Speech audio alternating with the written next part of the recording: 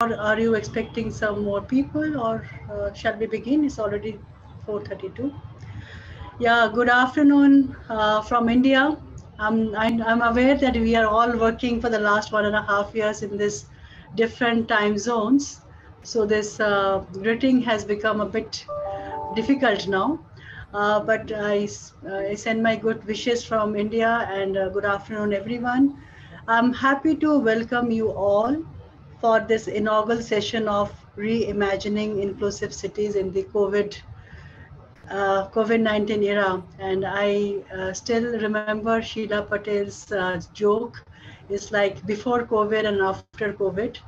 I am really looking forward to go to that uh, after COVID era, but it is still ongoing. We, I am, uh, let me introduce myself first. I'm Aparna Das and I work with GIZ and I am heading the housing and planning vertical. Uh, we have a large project called Sustainable Urban Development in Smart Cities, which is going to be concluded soon, and we would start our second phase in from January 2022. Uh, under this first phase of this program, we were very fortunate to make a collaboration with CPR, and we did a work on International Housing Symposium. And that's the time when, uh, although it was a housing symposium, but we started working on housing, land, and planning. And over the years, it has really grown. And I'm so happy that, you know, we are no more uh, a bilateral thing. You know, it's, it's like a, a big network of collaborative network has started. And I congratulate uh, CPR for taking that lead here. So this grant agreement that we have now under which this particular activity is located, I think it uh, kind of meets the uh, spirit of the grant agreement. The idea is to make a community of practitioners to take this kind of a work forward and also demonstrate that uh, working collaboratively is possible. So this is something that I, I take personally as a as a big learning lesson that you know it is possible.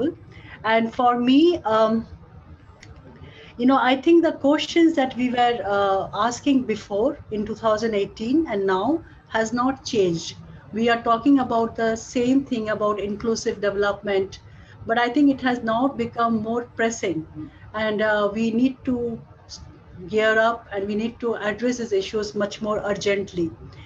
Um,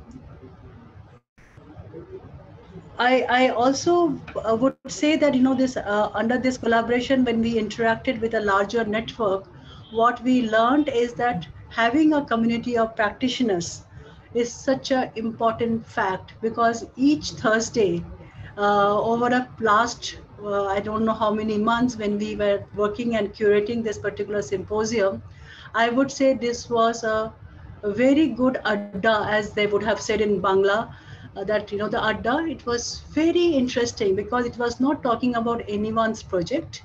It was a rich um, you know exchange of information i personally and my team learned a lot and uh, we really made a good uh, uh, kind of a you know exchange of uh, ideas and also knowledge creation I, I i personally feel that this kind of community of practitioners and this network needs further strengthening and we should be working towards that and uh, uh, re-articulate our questions further on this so with this um, um, initial uh, my remarks, I invite now Shubhagato, Senior Fellow at CPR, uh, who would lay the entire context and also what are we going to be doing in the next uh, three days.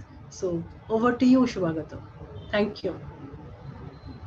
Thank you so much. Um, it's indeed uh, a privilege and a pleasure to be with you all today.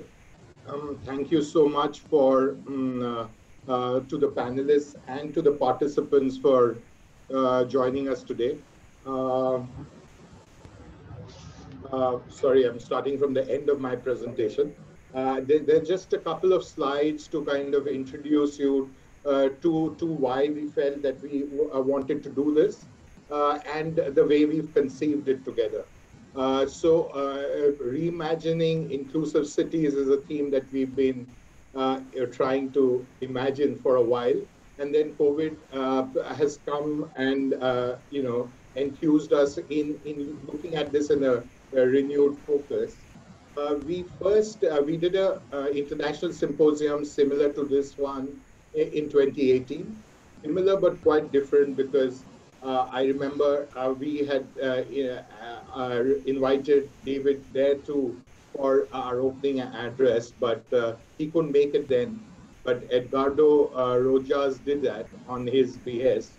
And, and we had a whole set of in-person eminent speakers join us, and it was we had 175 participants, uh, and it was hosted by um, um, by GIZ in collaboration with the government of Tamil Nadu.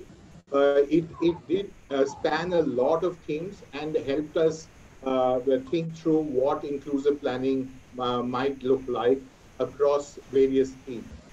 Uh, thereafter, last year, uh, through this innovative partnership of, of institutions that that have been interested in, in this space for a long time now, uh, we conceived and we put together four what we call policy labs, which were um, uh, you know two hour sessions on rental housing per se, because India was at that stage uh, suffering from the great migration uh, due to the the impact of uh, the uh, the first round of lockdowns in India, and migration and, um, rental housing were very much in the focus of government policy and in, in one sense, uh, a renewed uh, effort towards rental housing was, uh, uh was being conceived at that stage.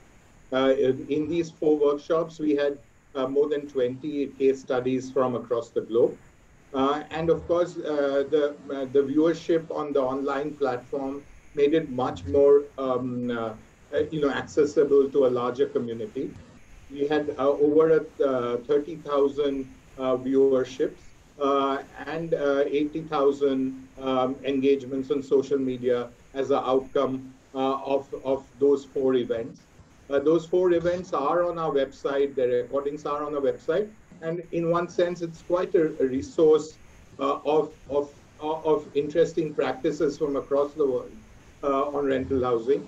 I do urge you to go and, and look at those too. Yeah. This time around, uh, Uh, you know, the organizing partners, uh, which include uh, Cities Alliance, GIZ, us at uh, Sci-Fi CPR, uh, Habitat for, for Humanity, both from India, but also from East Asia, uh, HUDCO, the premier urban finance and housing financier in India, the World Bank, ADB, and the National Institute of Urban Affairs have been collaborating as an organizing set of partners to bring, uh, uh, conceive, curate, and bring to you uh, uh this, this uh, dialogue around reimagining inclusive cities. Um, I mean, uh, while uh, the issues are not so different anymore, but much of um, uh, than what they were in the past in terms of integrating informal settlements and housing and planning, uh, um, uh, you know, there's a new impetus to look at this uh, issue both at the at the city level as well as the national level in South Asia, especially in India, where we follow it a lot. Uh, on the other side, there is the whole backlog that this is going to create to global goals of the SDGs or to the uh, new urban agenda in that sense. Uh, so rethinking of what universal services might look like in the post-COVID era, era uh, is, I think, uh, we all felt uh, the whole organizing committee uh, very timely. Uh, so mm, uh, the objectives of these four sessions, three sessions over this week, are to discuss challenges and vulner vulnerabilities of informal residents and their settlements, mainstreaming city re resilience within this debate of, of informal settlements to make it um, uh, more resilient to, uh, to disasters and to climate change in the future, uh, to look at um, looking at specific interventions that have contributed to this or are contributing to this, as we will see from India uh, tomorrow, uh, no, day after in the second uh, session two. And then building the community of research and practice that Aparna mentioned, Uh, to look at how universal services uh, uh, along standards can be provided to developing cities uh, in in in uh, uh, places which are urbanizing fast well. so overall, the structure of the international symposium is across three days this time. it starts at 4:30 p.m. in India. That's that's 7 p.m. in Singapore, 11 a.m. in GMT, and 7 a.m. Eastern time. Uh, the first one that we are uh, engaged in today is about responsive urban planning frameworks to build equitable, inclusive cities. Uh, the second one, which is on, on Wednesday, the 22nd of September at the same time, uh, is on urban informal uh, settlement upgrading for towards resilience. and finally, the third one on Friday, on the 24th of September, is on ensuring integration of the informal economy into the city value chain uh, to combat the economic uh, adversaries, uh, ad- adversities emerging from the uh, pandemic uh, to, to create greater resilience again. Uh, we have we are delighted that we are, there is such a eminent panel and set of panelists for uh, for uh, discussions and presentations. Uh, today, uh, uh, um, we have David Satterthwaite, fortunately, to give us the opening inaugural address. other than that, we have presentations from Fernando Franco from uh, former Joint Secretary Urban Planning from the city of uh, Sao Paulo. Uh, we have Dr. Pathak, who has led the urban planning work in Mumbai Metropolitan Development Authority for many years. Uh, and and um, uh, we have Jane Weru uh, from Nairobi, uh, from the university uh, um, uh, there. we will then follow the presentations up with a panel discussion, Uh, which will be moderated by Aparna, uh, which will uh, involve both Peter Rabley from uh, Place Foundation in the US, uh, Georg Hansen uh, from GIZ India, Hong uh, Lee from ADB, based in Manila, and Teresa Herzling from Sao Paulo again. Um, Uh, the date, uh, second day, uh, uh, which is uh, on the 22nd of September, as I mentioned, is on uh, upgrading informal settlements. Uh, and there we will have uh, two presentations from India, uh, one from Mr. Mathivathanan, who's leading the Jaga mission exercise in Orissa, and Mr. Ajay Sharma, who is leading the work in Punjab's, Punjab cities. We will also have presentations from Indonesia uh, uh, uh, by um, Ms. Uh, Viraganti. Uh, we will have uh, Faisal Siddharth from Durban, and we will have these two presentations too before we have a panel discussion. Uh, finally, on the third day, on Friday, uh, when we look at the informal economy and new ways of integrating the economies of the informal and the formal at the city level, uh, we too will have uh, some wonderful presentations and we look forward to having you there. Uh, to watch out for it, we will be posting on Twitter the de more detailed agendas for each of these days. finally, to today's workshop, to today's session, as I mentioned, uh, we, uh, we, uh, we, have an opening address and there, thereafter three presentations followed by a panel discussion. Uh, I wouldn't want to take too much more time. I'll leave it here, but I would uh, like to introduce uh, David before I pass on to him to make his opening um, inaugural address. Uh, so David, of course, David Satterthwaite needs no introduction in a community like this.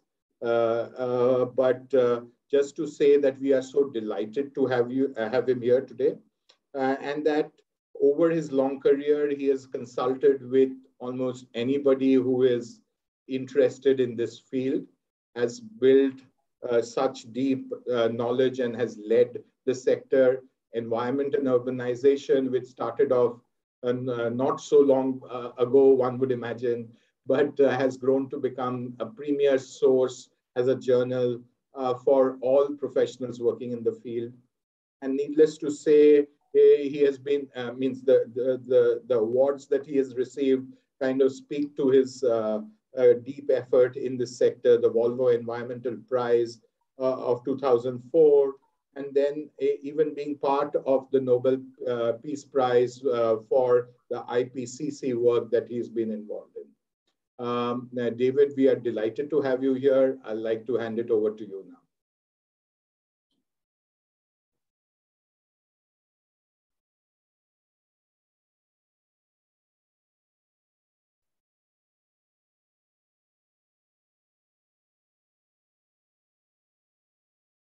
Hi there. Thank you for that very generous introduction. Can you see the screen now? Yes, we can. Upgrading has become a conventional government response to informal settlements. There's now a 50-year history of upgrading. We can even get a presidential endorsement of upgrading from Peru in the late 60s when the president decided to rename the informal settlements young towns. But planning upgrading is quite different from conventional planning, as the site is already occupied and much of the housing and site layout contravenes official standards. Very difficult to build the information base by which to negotiate an upgrading scheme. Some upgrading projects are isolated examples, others are part of citywide programs and supported by national policies, which show how far they've come in being seen as legitimate responses.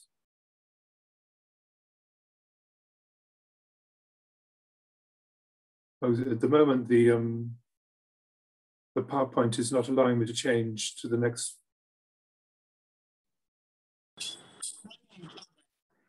Um, should I share it, uh, David?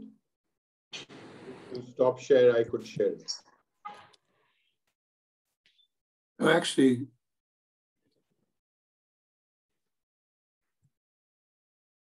the forward click should work.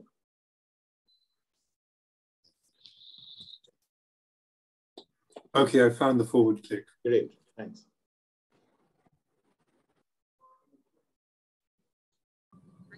But there's many forms that upgrading takes. I reviewed the, um, the, the upgrading programs that I know, most of them that I've visited, and we got this range upgrading that is actually eviction, rudimentary upgrading, more complete upgrading, leading to comprehensive upgrading then comprehensive community-led upgrading. Then again, this community-led upgrading with a resilience lens, and then finally transformative upgrading. The upgrading that is actually eviction is pushing residents out of the site to rebuild. And the residents get no support for the temporary accommodation that they've had to hire and then finally, they can't get back into the upgrading buildings because they're, they're charged too much. So in a sense, it's upgrading that is actually eviction. You get rudimentary upgrading, where what is provided is very basic. For instance, community taps. There was an aspiring politician who decided to try and generate support for his um, campaign that installed some community taps in an informal settlement. However, after the election, he came and took them back again. Then we have more comprehensive upgrading where you're beginning to get real improvements, piped water, toilets in each home, paved access road, little consultation with residents, although most residents would thoroughly approve of this as long as it didn't increase prices too much and affected in particular rental those who are renting housing where the upgraded building the landlords then charge more for. Then we have comprehensive upgrading, which is essentially moving the households into the formal city. um, with legal land title, with a full range of infrastructure and services, support for housing improvements. And here there's consultation with residents. Uh, again, as in more complete upgrading, if as long as costs don't rise too much, this is much liked by um, the residents. Um, and, and last but not the least, actually joining us um, um, uh, project, she'll be with us as well. So in comprehensive community-led upgrading, you get community control, and community management. Um, we see some great examples in CODI in Thailand, and the 32 federations that belong to Slum Shack Dwellers International. Increasingly, we're seeing upgrading beginning to take seriously the threats from global warming. And so you get comprehensive community upgrading, but with greater attention to assessing and anticipating future risk. And below this, um, what we'll all have to move to, but as yet not much um, evidence, where you move upgrading towards attention to lower carbon footprints, um, therefore addressing the mitigation aspect of global warming, whereas the above, the one above is addressing the uh, uh, adaptation issues.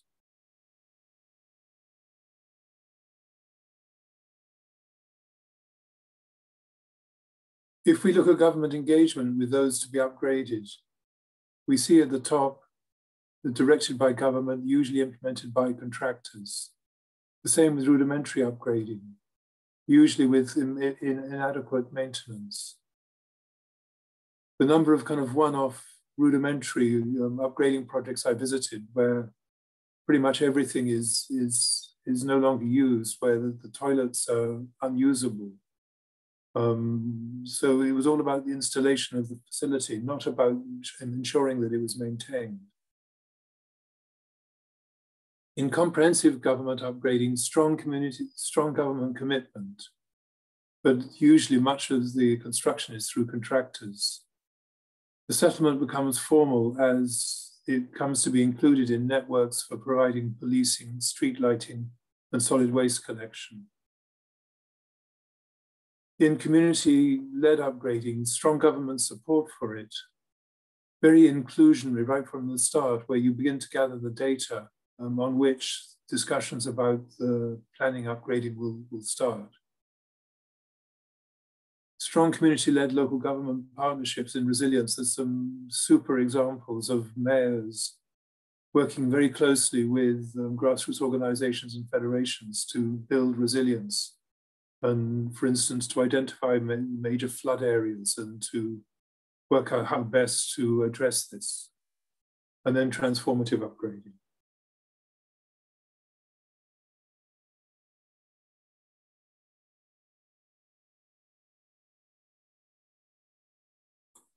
Oh, we've covered all these.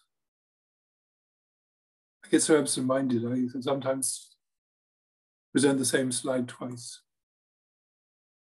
So let's look at some examples of um, upgrading that is inclusionary, um, that engages the residents in working out the best solutions.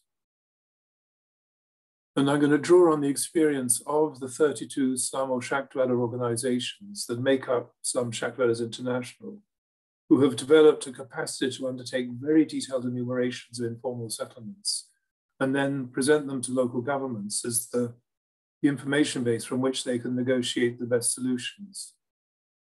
Now, enumerations of informal settlements are not easily done. There's no addresses very often, there's often no street names, so it's difficult to get a sense of um, completeness. There's often hostility towards the interviewers. However, again, if the informal settlement um, dwellers are part of the team that actually collects the data, this hostility disappears. They also are clear that it's upgrading that serves them, not real estate agents coming to look for land for their future expansion.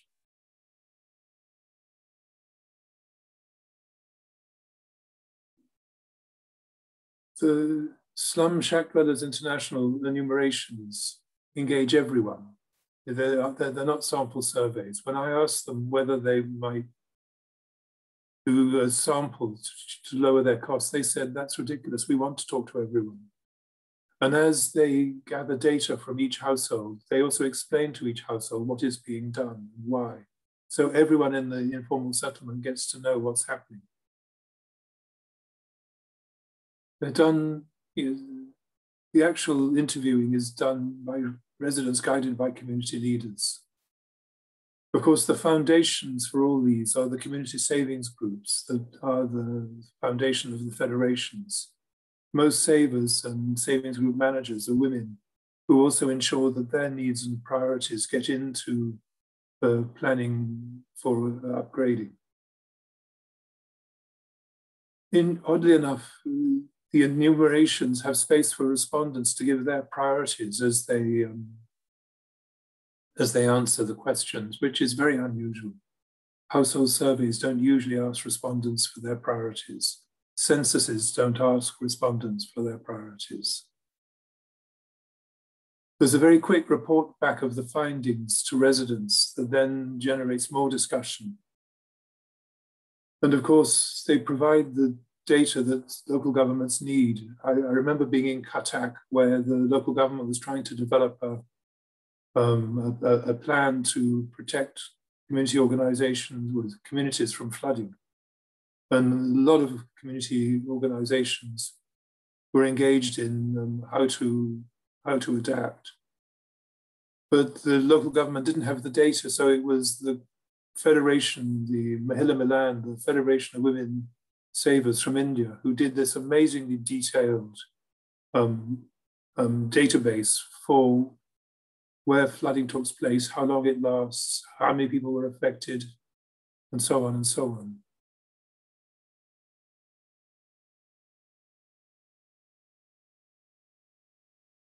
Just to give you an idea of the scale of depth and detail in these um, enumerations by SDI federations.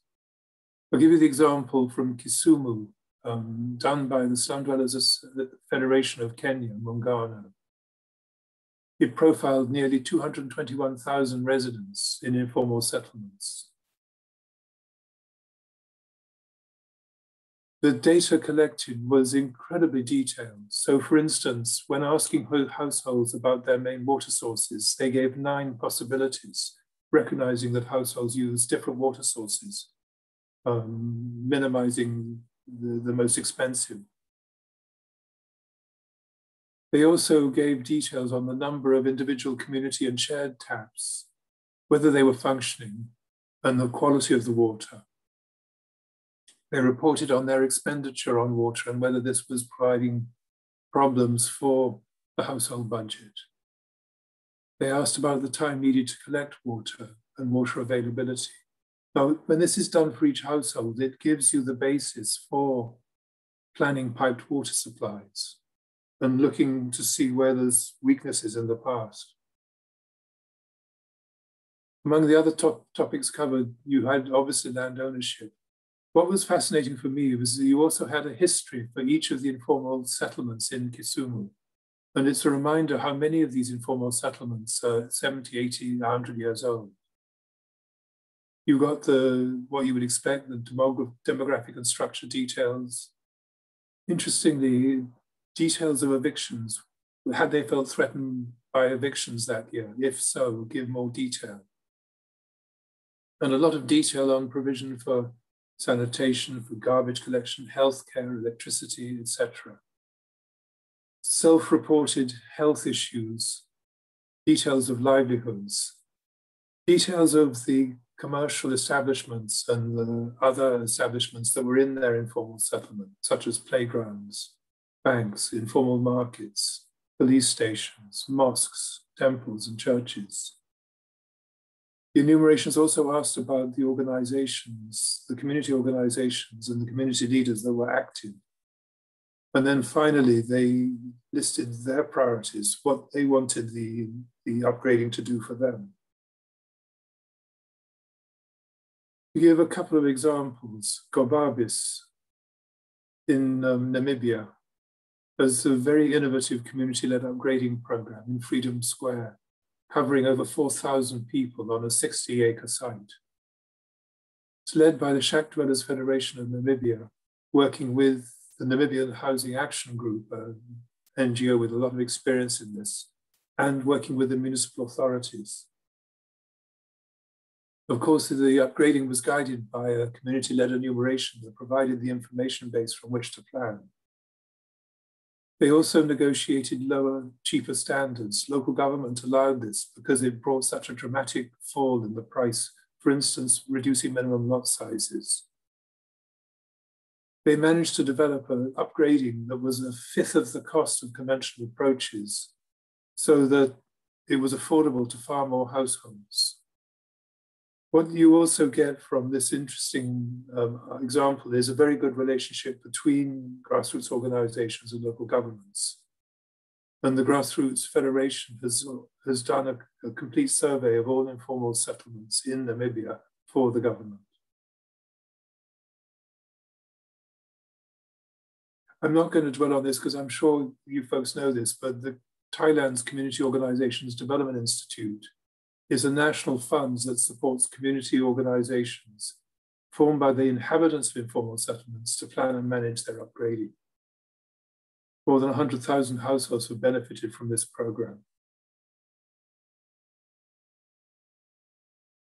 I could, actually Jane Weru is coming later and will, will can fill you in for details, but I'm astounded at Nairobi as to how much the Kenyan Federation, Muungano, has negotiated with city government, with district government, with national government to allow innovative upgrading schemes. One of the largest is the upgrading program they're developing in Mukuru, one of Nairobi's largest informal settlements. It's unusual in the scale, 100,000 households, and the engagement with all stakeholders seeking to generate consensus in 100,000 households, there's a lot of um, um, businesses and landlords and people with other perspectives that have to be brought into a consensus. So, some conclusions. Upgrading, if done well, transforms housing and living conditions.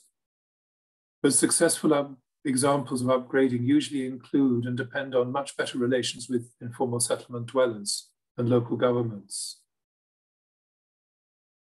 These successful upgrading programs usually include partnerships with local government.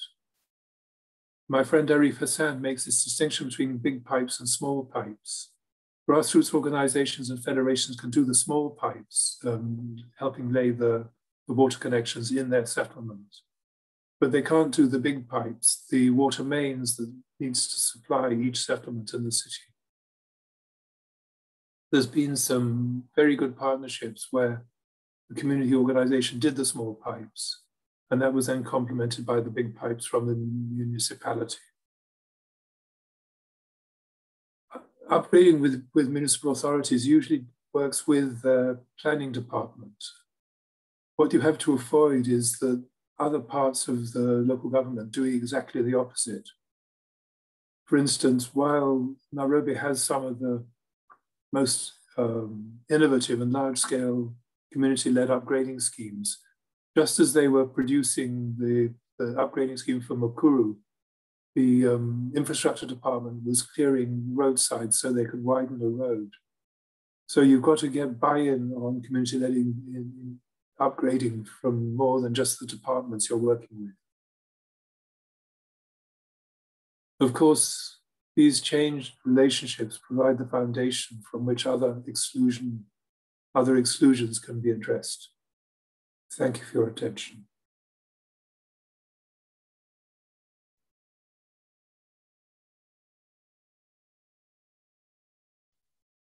You're muted. Yeah, sorry. Uh, thank you, uh, David, for this uh, very, uh, you know, kind of a full picture of 50 years of uh, uh, slum upgrading. and this has been discussed in detail in our addas that we were having. And um, one of the critical questions that keeps coming in is that, you know, why it does not ever get scaled up. But my introduction to Mukuru was being very hopeful and I think it's possible uh, with the right kind of uh, knowledge, maybe it is possible to also scale up. So we need to have uh, more knowledge on this and we need to know maybe other skills, you know. It's not only the technical skills, but how does one keep a conversation alive and uh, do this uh, persistent? It's a, it's a difficult job. Uh, many of us actually have gone gone gray uh, in Recording this in this uh, uh, in this particular thing. Uh, but it's a very interesting topic, and I think it is now slowly and slowly, at least in India, becoming a part of the planning discourse. So it is no more that you know it's only the people with the jholas are talking about it, but I think the administrators, like as uh, Shubhagato said, in Orissa, in Punjab, they are picking up this issue, and I I, I think there is a positive uh, positive things is happening. Um, with this, I invite now Anna, uh, who would take this conversation further. So Anna, over to you, please. Thank you, Aparna. Yeah, um, I'm Ana Claudia Rossbach. I'm the regional manager for the Cities Alliance uh, here in Latin America and Caribbean. So I'm talking to you from São Paulo, Brazil. Uh, it's a pleasure to be here. Uh, it was a beautiful journey with all uh, these co-organizers uh, that Shubhagato mentioned uh, from, from the beginning. So we are partnering up already in our second year in these sessions of uh, discussions. And I believe this one is very important uh, because we cannot reimagine the future of our cities without addressing the urban vulnerabilities and the informal territories that we have in our cities. So COVID had explicitly demonstrated how urgent we need to deal with these territories. Uh, I think it is very nice, um, Dave's uh, presentation, because it just, you know, introduces us a, or leads us to the next session. Uh, Dave talks about relationship between um, slum dwellers and, and, and city governments.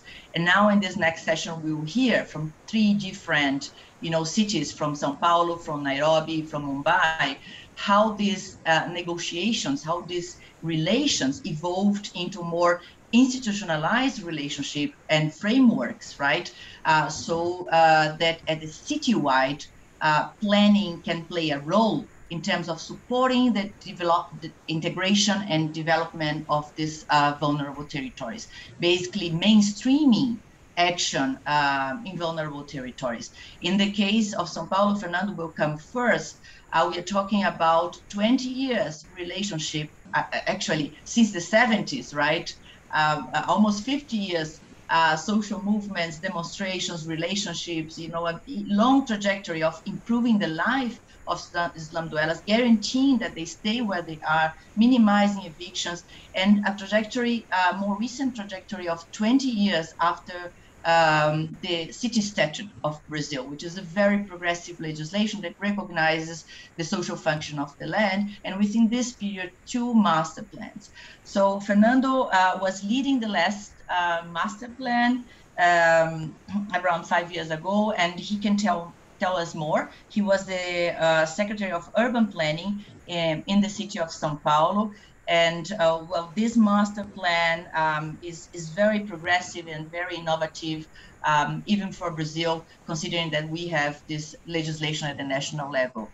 Uh, so Fernando, I will uh, hand over to you uh, for your presentation. Well, thank you, Anna. Thank you so much for the invitation. Uh, it's a big honor to be here talking to you all. I'm gonna share my my screen.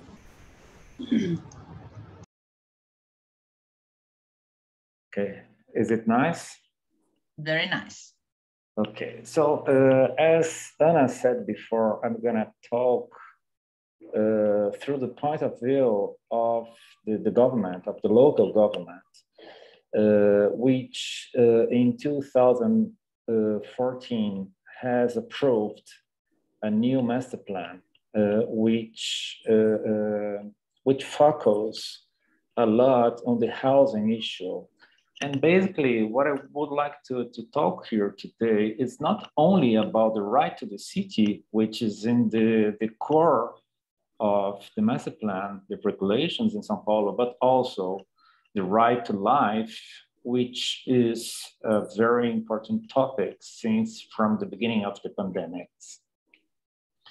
Well, I'm going to talk about six actions. Uh, the first, the initial five ones, five ones was actions designed by the government. And the last one is what I suggest that we should go uh, afterwards. And first action is about framing the, the main issue. And here you have Sao Paulo metropolis image. It's about 60 by 40 kilometers wide. And we have about 21 million inhabitants living at the moment. Uh, the white shape is the municipality of Sao Paulo itself. The, the metropolitan region has 39 municipalities. Sao Paulo is the main one, the capital. And uh, in purple, you can see how uh, the distribution of formal jobs is completely unequal in the metropolitan area. Basically, Sao Paulo municipality is the one who offers jobs, formal jobs, of course, uh, totally connected with the black lines, which are uh, the main uh, mobility uh, systems, uh, such as metro, train, and bus lanes, BRT lanes. So we can see the connection between government investments in infrastructure and the offer of formal jobs. The next diagram shows something completely different. This is the social vulnerability mapping, and you can see that uh, the urban uh, vulnerability is characterized by urban sprawl, basically informal urban sprawl over the, the environmental sensitive areas, totally disconnected with uh, the black lines, the, the lines that represent public investments. When we put both diagrams together, uh, it's so easy to see the, the picture of inequality, of social segregation, territorial segregation that uh, shapes uh, Sao Paulo metropolis and shapes uh, the, the citizens' uh, life. And this picture is responsible for so many issues, so many uh, imbalance, so many um, dramatic situations that we have to take care about. One of those situations is that informality, vulnerability corresponds to the tax of death by COVID-19 in city, of course. So you can see the, the darkest colors where uh, we, we find uh, the biggest death rates in the city of Sao Paulo and also in the metropolitan of Sao Paulo corresponds to vulnerability. So we're not talking about the right to the city anymore, but we're talking about the right to life. Section, uh, second action is integrating tools for designing a housing policy. So uh, housing is such a complex uh, uh, question. Uh, planning uh, metropolitan cities is so complex. So no one can find one single instrument, one single tool to deal with this complexity. So the master plan, São Paulo's master plan, uh, organized a set of tools that has to be combined uh, in order to achieve a consistent policy. And we have much more than you can see in this list, but basically what we have here is uh, the need of designing uh, a municipal housing plan to guide actions uh, a second very important tool is what we call ZEIS, special zones of social interest, areas designated to the provision of uh, affordable housing. Uh, then we have land regularization, solidarity share, and also uh, uh some tools based on land value capture, uh, which can be really interesting sources of funding altogether, uh, one by one, step by step, they can put a housing policy uh, uh, uh, to work. So one of the first steps uh, in order to do so is providing land access. And the municipality of São Paulo, is about 12 million inhabitants, has about around 2.2 million property owners. 1% of 2.2 property owners uh, uh, own 45 of the property share of the city. So you can see uh, how uh, concentration uh, uh, shapes the city once more. And in Sao Paulo metropolis, at the moment, we are about, well, housing deficit is about 570,000, 570,000 units. And believe it or not, we find 527,000 vacant buildings at the city. So uh, as a matter of fact, uh, uh there is no lack of, spa- uh, of space in the city. There is uh, a gap, a difficult to access the space that has been already produced through private uh, investments, but basically through public investments that are not properly used, are totally spoiled. So uh, uh, in order to, to get those lands and lots uh, and properties back to the market, uh, a very important tool has been approved and regulated, which is uh, PILC, Compulsory Parceling Use and Construction, which basically uh, is the, the instrument to that achieves to guarantee the social function of property.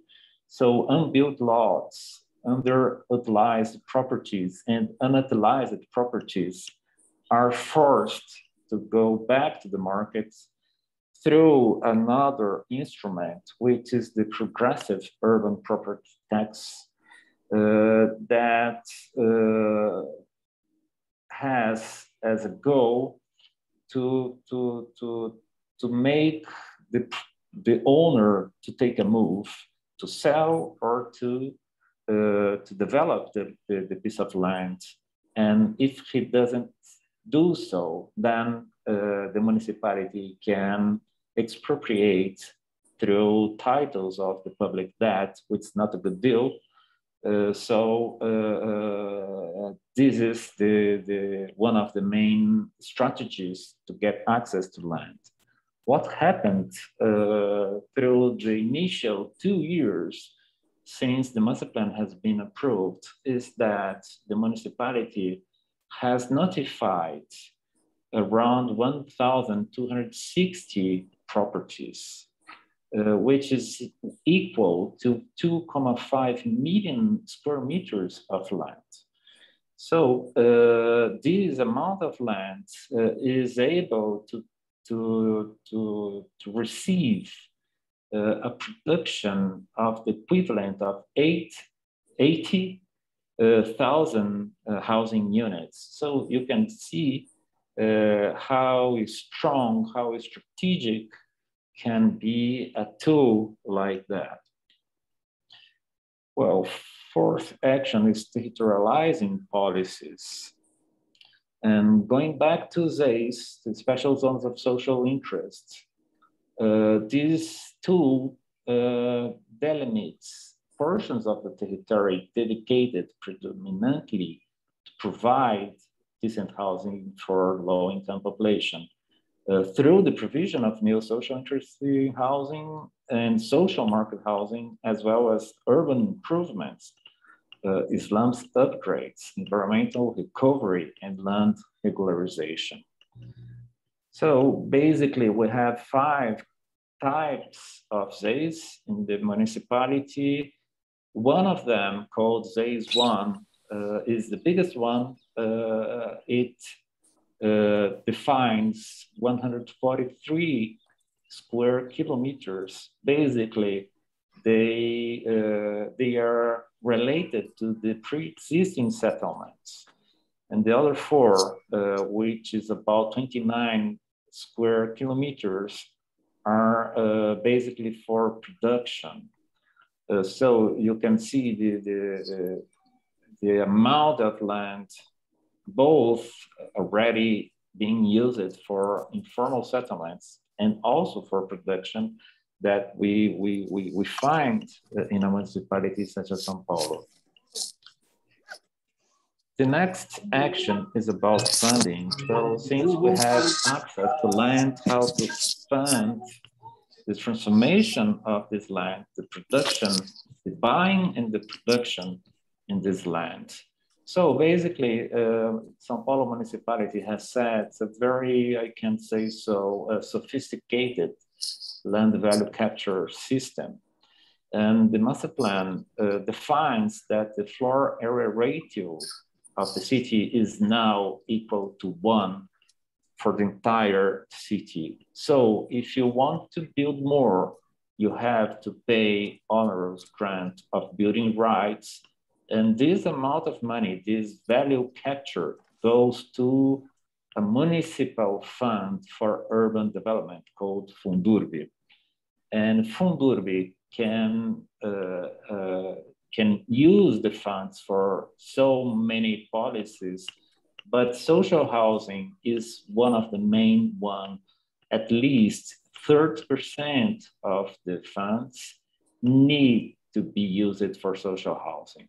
Well, this fund is not big enough to, to produce uh, uh what the city needs, but so uh, basically this fund is used by uh, property acquisition.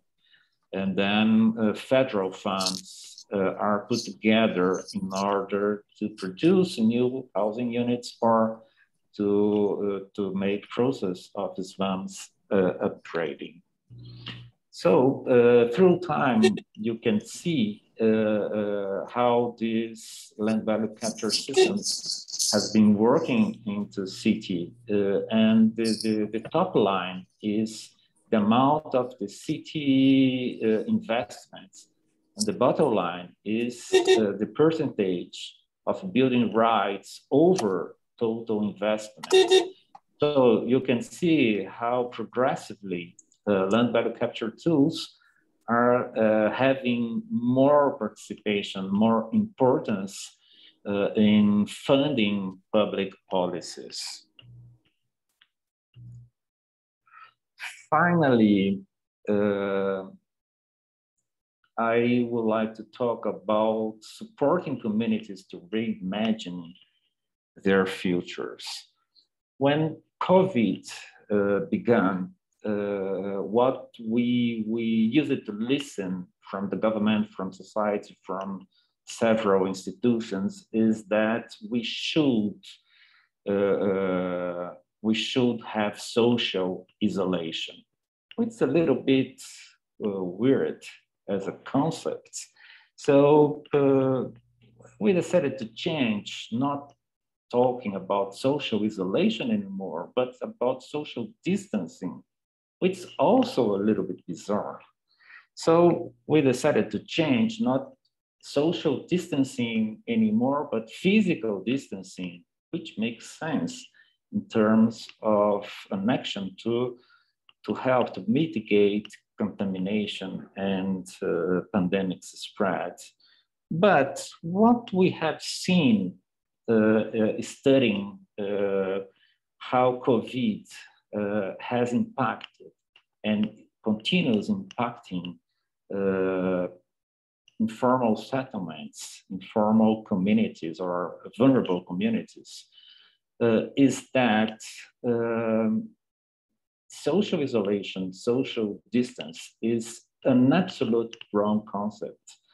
what we find through a research we did with World Bank, with communities in São Paulo, Rio de Janeiro, Belo Horizonte, and Buenos Aires, Argentina, is that as more strong communities, community bonds are, are better those communities are uh, fighting against COVID. So this picture is from Paraisópolis, one of the biggest slums in São Paulo, about uh, 100,000 inhabitants living in. And they did a very precious process of uh, uh self uh, management, self organization uh, to combat COVID. And in São Paulo, Belo Horizonte, Rio de Janeiro, and Buenos Aires, as better the community organization, as lower the death rates by COVID we could find, even lower the municipal, the municipal uh, average uh, death, uh, rate of death by COVID. Uh, and when the government was together with the communities, such as in Belo Horizonte and Buenos Aires, the death rate was even lower. So um, if we want to go and get out through this crisis and the following ones, uh, one strategy should be strengthening of social and community bonds, which I guess is somehow what David has just uh, said to us. And doing so, maybe when we look back to the territory, we will find uh, there is one, which I mean, pre-existing uh, uh, communities, informal settlements, uh, one strategic and prioritary territory to act since those pieces of territory are where community bonds most need to be strengthened. Thank you so much. Thank you, Fernando. This was quite a comprehensive uh, presentation. Congratulations for your work. Thank, thank you for being with us today. Um, yes, now we move to Africa and we have Jane Weru with us. She's the executive director uh, of Akiba Mashinani Trust uh, in Nairobi. And um, thank you, Jane. mm, mm. So I see we can hear you well. So yeah, then you can share with us your experience also, I think similar as Sao Paulo, right? After so many years, uh, struggle and negotiations, you know, demonstrations and work, um, trying to work closely to the government and institutionalizing, mainstreaming these vulnerable territories in city planning. And uh, Kenya also got uh, a new legislation right back in 2017, which enabled you know, um, tools at the city level. So maybe you can share uh, with us more about um, this community Mukuru that was already mentioned by David and the spa. We cannot see you. Uh, I mean, um, mm. cannot see your face there, but I see you are connected. I'm in a meeting. Sorry. Can you talk again? Sorry. Hello. Now it's coming. Now it's coming. Hello. Yeah. Okay. If, if you, you, if you can so pull down a little bit your camera, then we can see you too. That would let be me, great. Let me let me yes, but I think I will put it off because the connection is very poor. Okay, thank the you very much. You have a presentation to share or? Yes, yes, I'll, I'll put it. I'll share. Okay. Um, okay, screen.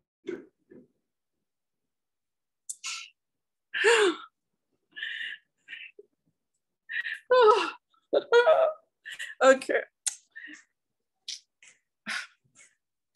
So just, just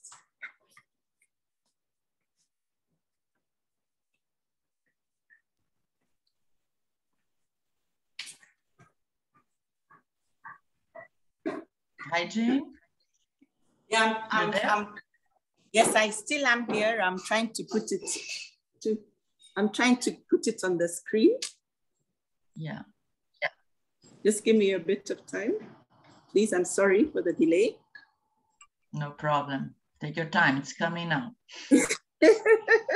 sorry. Technology problems.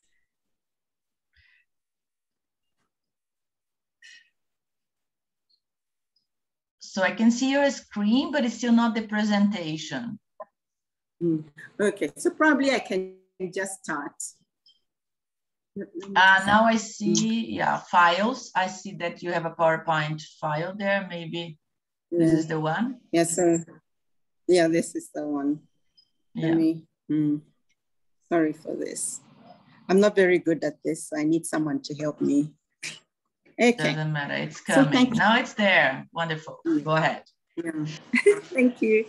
So I'll be sharing with you a little about uh, the Mukuru Special Planning Area and um, how, in a sense, this special planning area and COVID, I believe will help us to begin to reimagine uh, the development of informal settlements after COVID.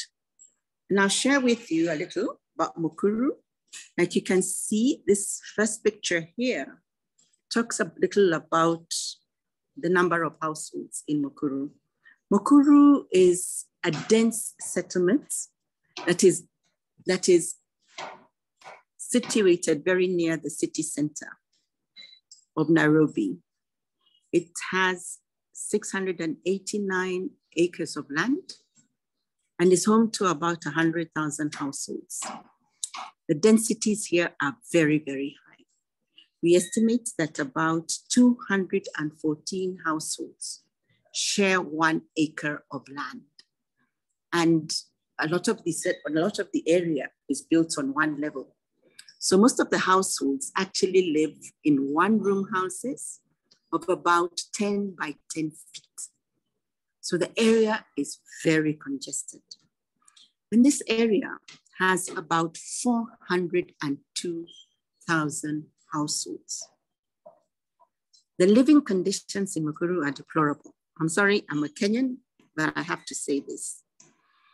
The residents of Mukuru during the planning process um, conducted household mapping and enumeration, and they mapped every single toilet, every single facility in the settlement.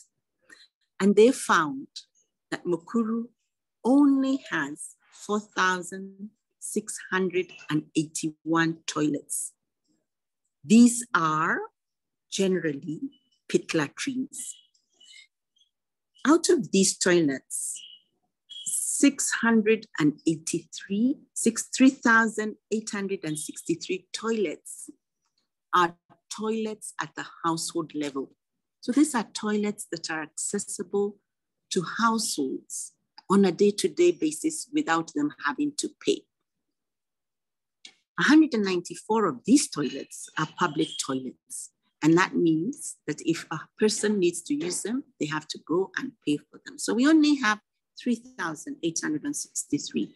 And these are pit latrines. And from the picture that you can see below, many of them, like the first picture, one, dispose of their waste directly into open drains and fecal wastes and, and rivers. And fecal waste is a major public health risk. You know the public health risks that come with the indiscriminate disposal of fecal waste. And you can see here the same problem with the, that exists in Mukuru in regards to solid waste management. So all of these problems created, create a, a terrible, terrible public health challenge. And it is common, and you can see, I, I won't speak to all the, but you can see in the pictures. And it, and it is therefore common, it has been common that cholera outbreaks are common in this area. So you can imagine the fear and trepidation that we all had when we heard that COVID was now a pandemic. What was going to happen in the informal settlements of Nairobi with these prevailing conditions?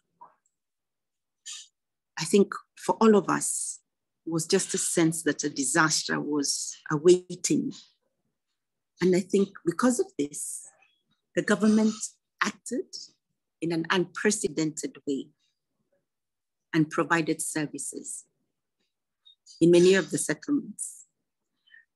But probably a question we could ask is why, why, why are these conditions, why do these conditions exist in the informal settlements of Nairobi?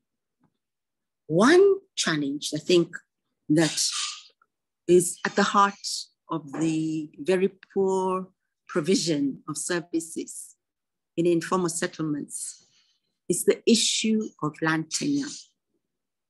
The picture, I think if you will see the picture to the right that says how evictions happen, you can see that picture of yellow bits of machinery that are demolishing houses within informal settlements is common in Nairobi. And it is common, and it was a common sight in Mukuru. Because in Mukuru, the land on which the 680, 689 acres upon which this settlement sits is mostly private land. This land was allocated in the 80s and 90s to private individuals and corporations for the development of light industries. Unfortunately, the people who were given these properties did not develop. And that's why we have informal settlements on the land. However, as is common in almost all Commonwealth jurisdictions, type of titles that were given to the private individuals were long-term leaseholds of 99 years. These leaseholds had special conditions of grant. Those special conditions of grant provided that the grantee should develop the land within a period of two years. And if they failed to develop the land as stipulated in their title documents, the government was empowered to enter and to take back the land. Now, because a lot of the investments, especially in water and sanitation, that occur in informal settlements are financed by multilateral bodies such as the World Bank, the African Development Bank. Um, we find a lot of influence by these institutions on the policies of water and sanitation utilities in many cities. In Nairobi, the water utility has under its guidelines, guidelines that, that guide the development of infrastructure, water and sanitation infrastructure in, in informal settlements, provided that no investments should occur in informal settlements that are situated on private lands. So the water and sanitation utilities, therefore, provide infrastructure only to the edge of the settlements, normally. And from there, the water is reticulated in the manner that you see in these pictures, using flimsy spaghetti pipes running through improbable conditions. I can only say they're improbable because they're so bad. So, what then? How then do we begin to address this challenge? I think the first is that in the reimagining of cities, we must begin to appreciate the special role of planning. And in the Mukuru Special Planning Area, uh, the county government declared Mukuru as a special planning area and provided seven planning sectors, which include water sanitation um, and land. You can see those seven thematic areas. So we must, as we reimagine cities after COVID, we must appreciate the special role of planning. We must appreciate the special role of partnerships and community inclusion, the co-production of planning and implementation with communities, which has happened in this particular planning process that have mobilized 46 organizations and involved the, in the community extensively in co-production. I think the other thing, and this has happened in Kenya, is an appreciation that public health, the public health interests far supersede the interests of private property. And therefore, in the face of a pandemic, the state or states should enter. And regardless of the title interests of individuals, states should provide the basic services that will ward off present and future, future pandemics. I think that is another principle upon which the future reimagining of cities should be vested. Thank you. Thank you, Jane. I believe this reality is very similar to the reality of many of other cities in the global south where uh, property owners didn't uh, really uh, take care of their land, uh, right? And it was occupied. And then afterwards, a restriction from governments to act upon private land to provide basic services and, and housing. Uh, therefore, it's so important to recognize the social function of the land. Jane, you are still sharing your screen? Um, yeah, thank you. So now uh, we move to India, to Mumbai. Mumbai. I would like to invite uh, the former head of the planning division uh, of the Mumbai Metropolitan Region uh, Development Authority, uh, Vidyadhar Pathak, uh, to share um, about um, the experience of the government of Maharashtra uh, in terms of launching a comprehensive and implementing a comprehensive uh, slum rehabilitation scheme. Um, so Vidyadhar, the floor is yours.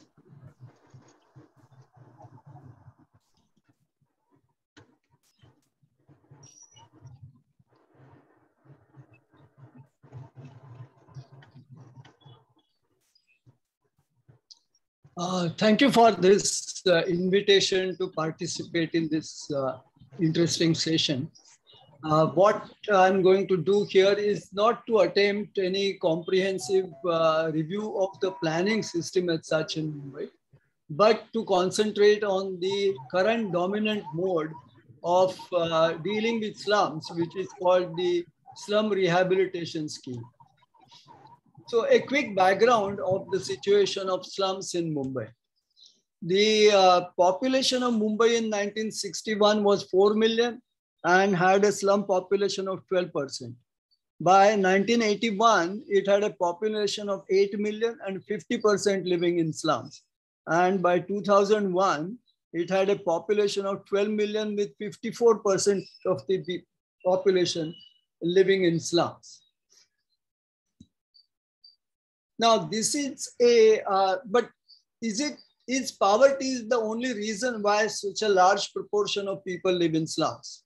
That is not the case because uh, per capita GDP of Mumbai is uh, something like three times the GDP per capita GDP of India.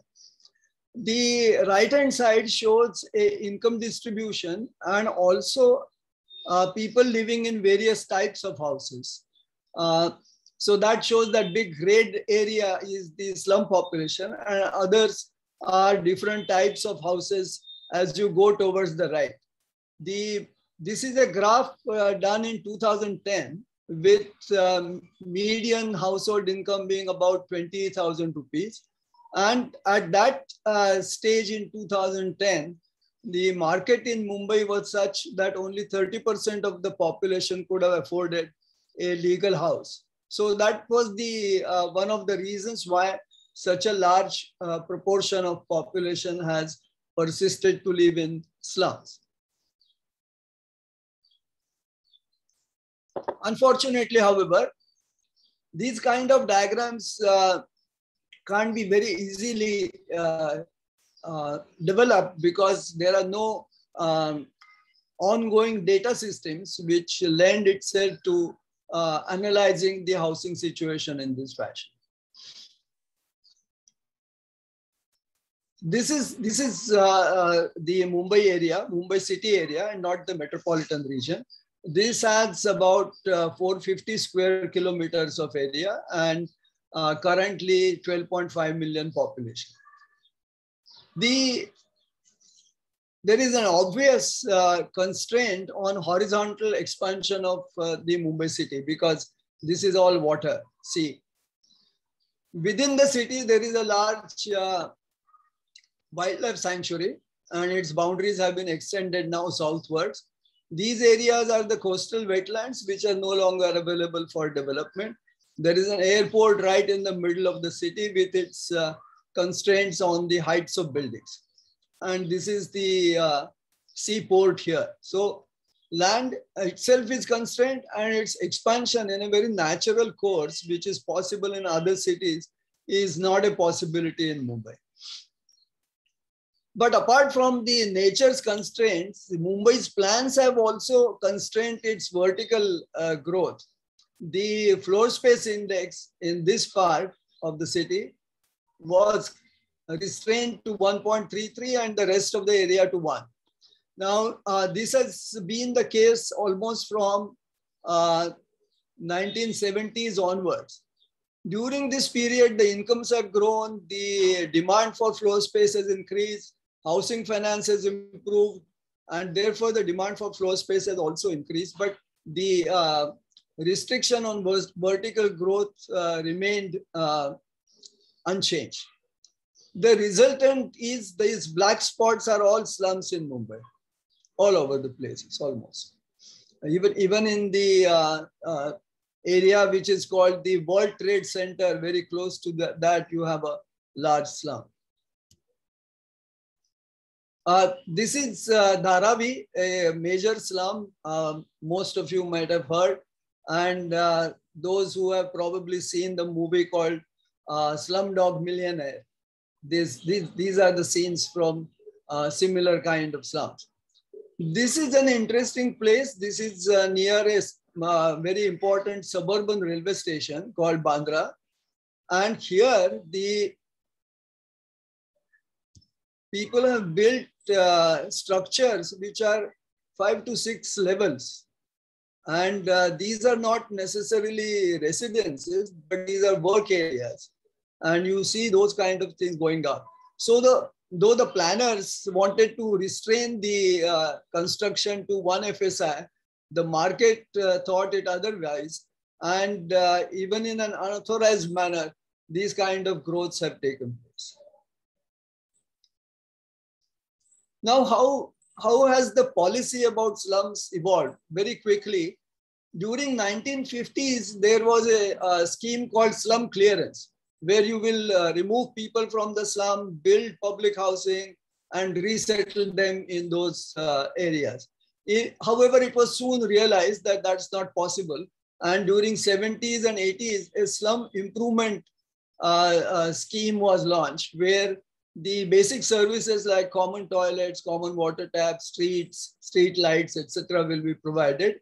Uh, and also in 1976, a major survey of slums was uh, launched and the slum dwellers were given uh, so-called photo passes.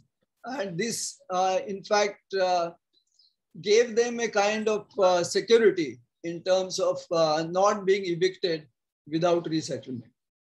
In 1985, there was a World Bank assisted program called Slum Upgrading, within the program called Bombay Urban Development Project. This was uh, similar in terms of providing basic services, but it also had uh, tenure. And the tenure was not given to an individual slum, but to a cooperative society of about 50 to 100 uh, households.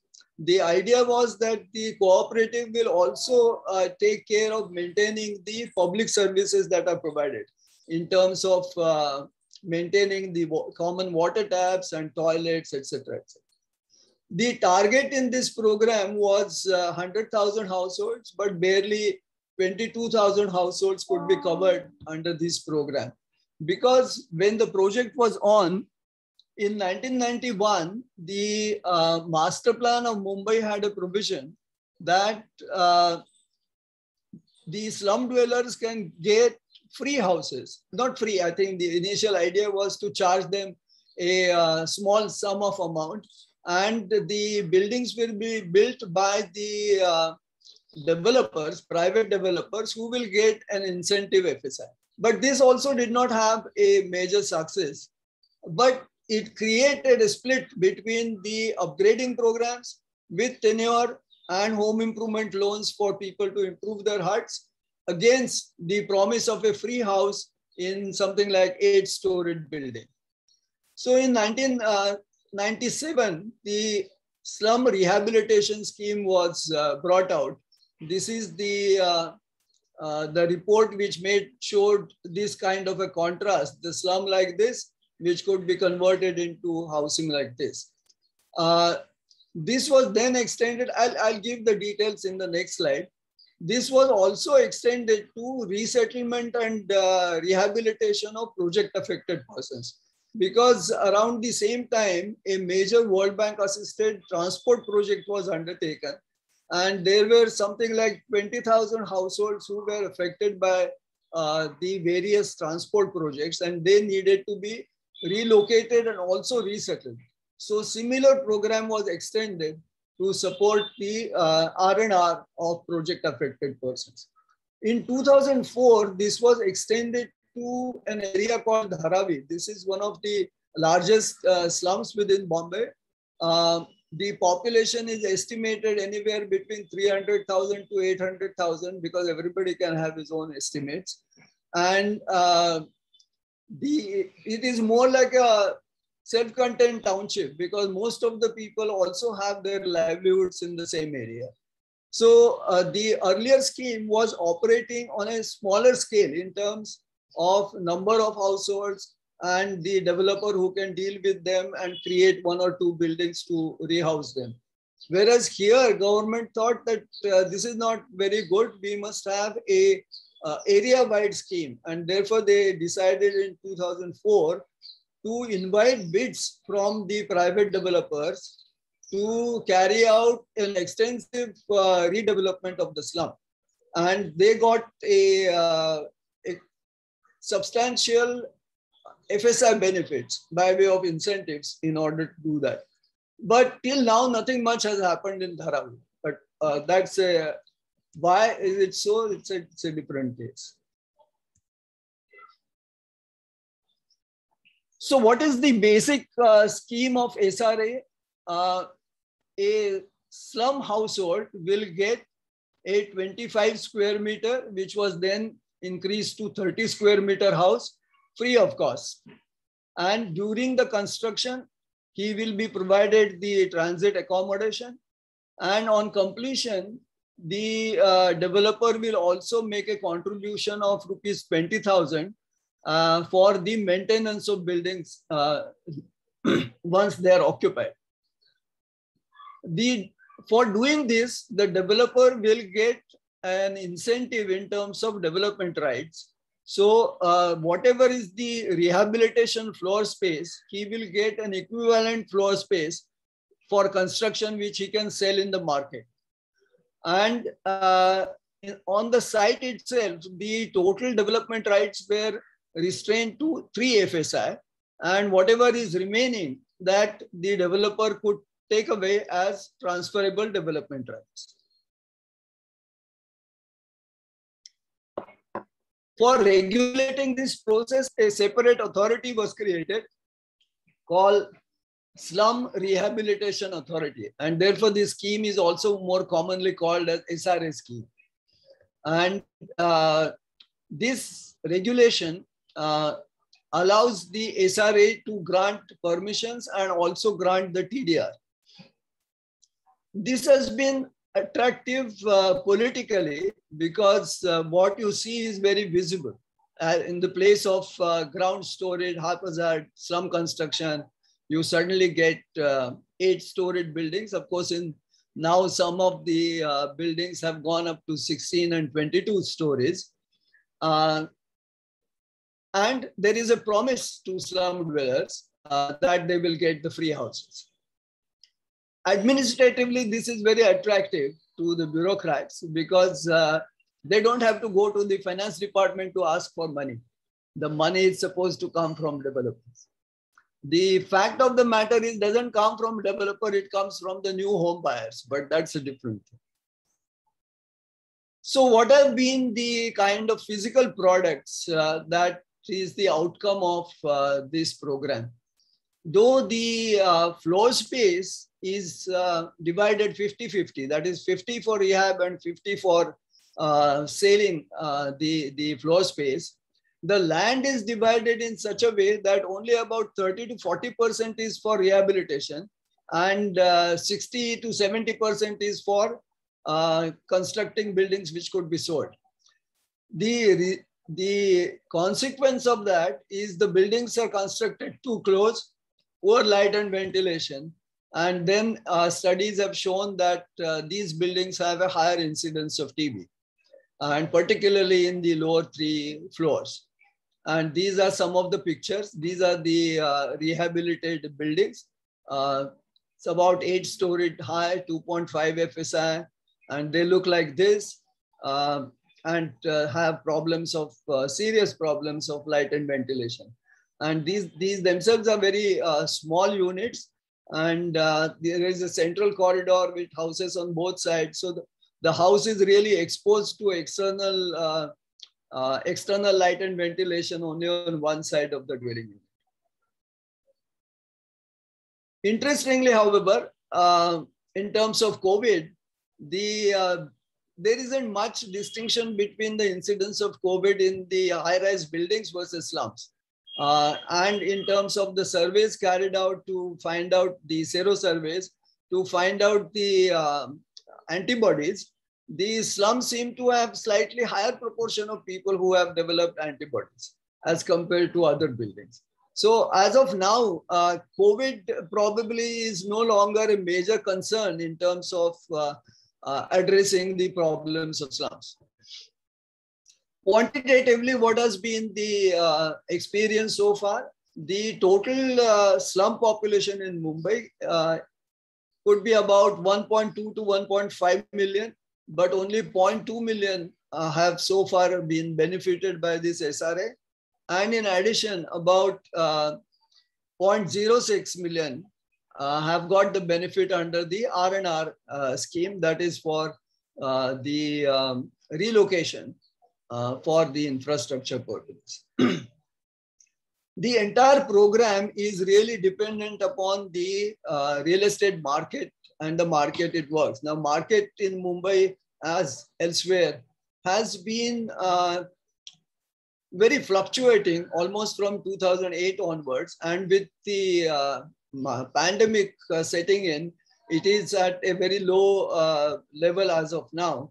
And this has also affected the uh, SRA programs. And currently there are many stalled projects, uh, SRA projects in Mumbai.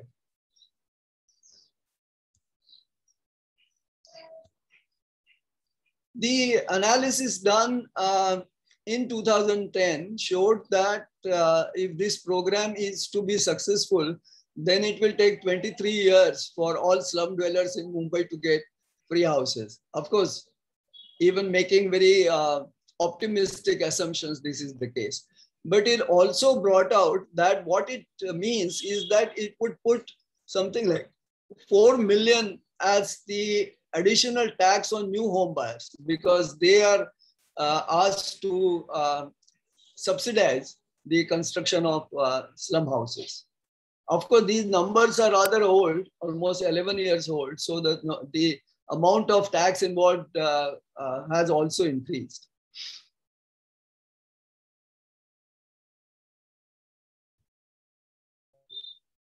So apparent success of SRA model, even in its uh, most uh, modest scale, is because it depends upon the uh, supply side constraints, both natural as well as regulatory, which keep on boosting the prices uh, because there is a scarcity of development rights in the market.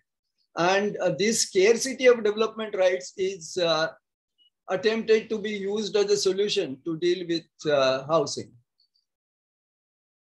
Incentives cannot be a relaxation in constraints. So uh, first you create constraint, then you relax those constraint and use that as an incentive. So this is not the uh, prop, uh, the optimal policy option uh, in this case. Now at the current situation, if uh, the developer is redeveloping three units uh, for the uh, slum dwellers, it will require a construction about 90 square meters. And an equivalent area, which is in the form of say two bedroom apartment, he will be able to sell in the market. Now the construction cost of those uh, three slum units itself will be in the region of 2.25 million to about 3 million rupees. So that is the element of taxation which is on the new home buyer. So naturally the number of uh, people who can afford those kind of houses is also uh, limited in case of Mumbai and it has its own problems. The promise of free house has uh, emerged as a golden trap for the political considerations. Having promised such a thing, now it is difficult for any political party to get out of such a promise. So it's a deadlock uh, as far as uh, slums in Mumbai is concerned. And uh, even after uh, experimenting with uh, all the possible solutions, right from clearance through upgrading, through tenure transfers, through free houses, through market, uh, most of the sort of options that are used elsewhere have been attempted in Mumbai, but still the riddle continues. Thank you. Thank you very much, Vidyadhar Phatak, for this very comprehensive uh, presentation. I think the storyline is very clear, and the challenges that you pointed out at the end uh, will be um, very strategic content for our next panel, uh, moderated by, by Aparna. Uh, so Aparna, I will hand over to you uh, to start the discussion. Thank you very much, Fernando, Jane, and uh, Vidyadhar. Thank you.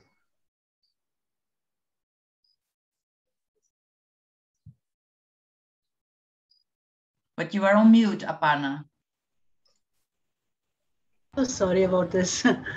Uh, thanks, Anna. And after this three very intense presentation, and also the first one, um, I'm just wondering the, the conversation that I thought we would have today is kind of getting layered.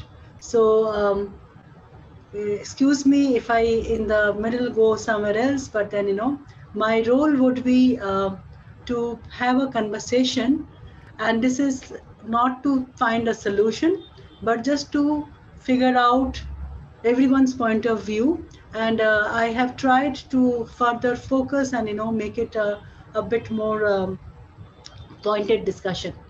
Uh, so i'm very happy and i'm very fortunate and privileged rather to be the moderator for this session which would go for next one hour um, and um, i would like to first um, invite all my uh, panelists i begin with uh, ms sheela patel who is the founder director of Society for Promotion of Area and Resource Center, SPARC, as it's known as. And uh, I think we all got a lot of advantage of uh, working with her, observing her, and how she has shaped this entire discussion under under on the informality and uh, informal settlements. So I invite uh, Sheela Patel uh, in this discussion. The issue is that um, I do not see everyone, and so these are the challenges of digital discussions. But um, I, I invite her, and I'm not sure whether her her um, camera is on. Next is uh, Teresa Herling.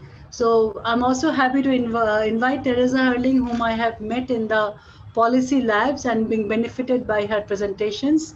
And uh, she is an uh, urban and housing specialist, and she is with uh, Mackenzie University. And uh, it's been it's been quite interesting to see her viewpoints on uh, master plan of Delhi. So I have been following her work. Next is Peter Rabley, whom I have not met ever, but I have been getting familiarized with his with his work, and uh, I have uh, kind of you know would like to know more about uh, his work and what is he doing uh, in this space of GIS uh, mapping and digitalization, which is I think also a bit of a GIZ obsession that we have. And next is um, my colleague and uh, director of this project that I am in, uh, Georg Hansen. Uh, Georg Hansen is also uh, leading our project in India, but also has an experience of working in uh, Germany. So he brings this both global south and global north experience. And last, again, my colleague from Policy Lab, uh, Hong, and it has been also a pleasure to meet Hong and interact with him over this last uh, almost now two years in the policy uh, dialogues. So the way I have structured it is um, I would give a, a, small opening remark and we would have two rounds of discussion. And uh, the questions would be in a group.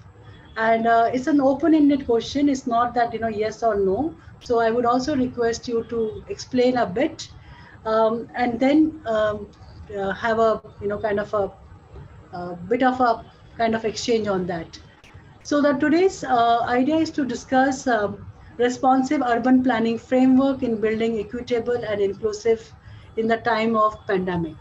Now that's what the task is but what i have done is that uh, in one hour you cannot discuss everything. So let's discuss a very pointed question about and i am always putting india as a backdrop but i would encourage my panelists also to uh, you know kind of bring their experiences from other countries to enrich the conversation um, when we say planned development because we are trying to figure out a responsive urban planning framework but when we say, you know, planned development, what exactly do we mean? And is it a consensus on this planned development? Uh, from my limited knowledge of working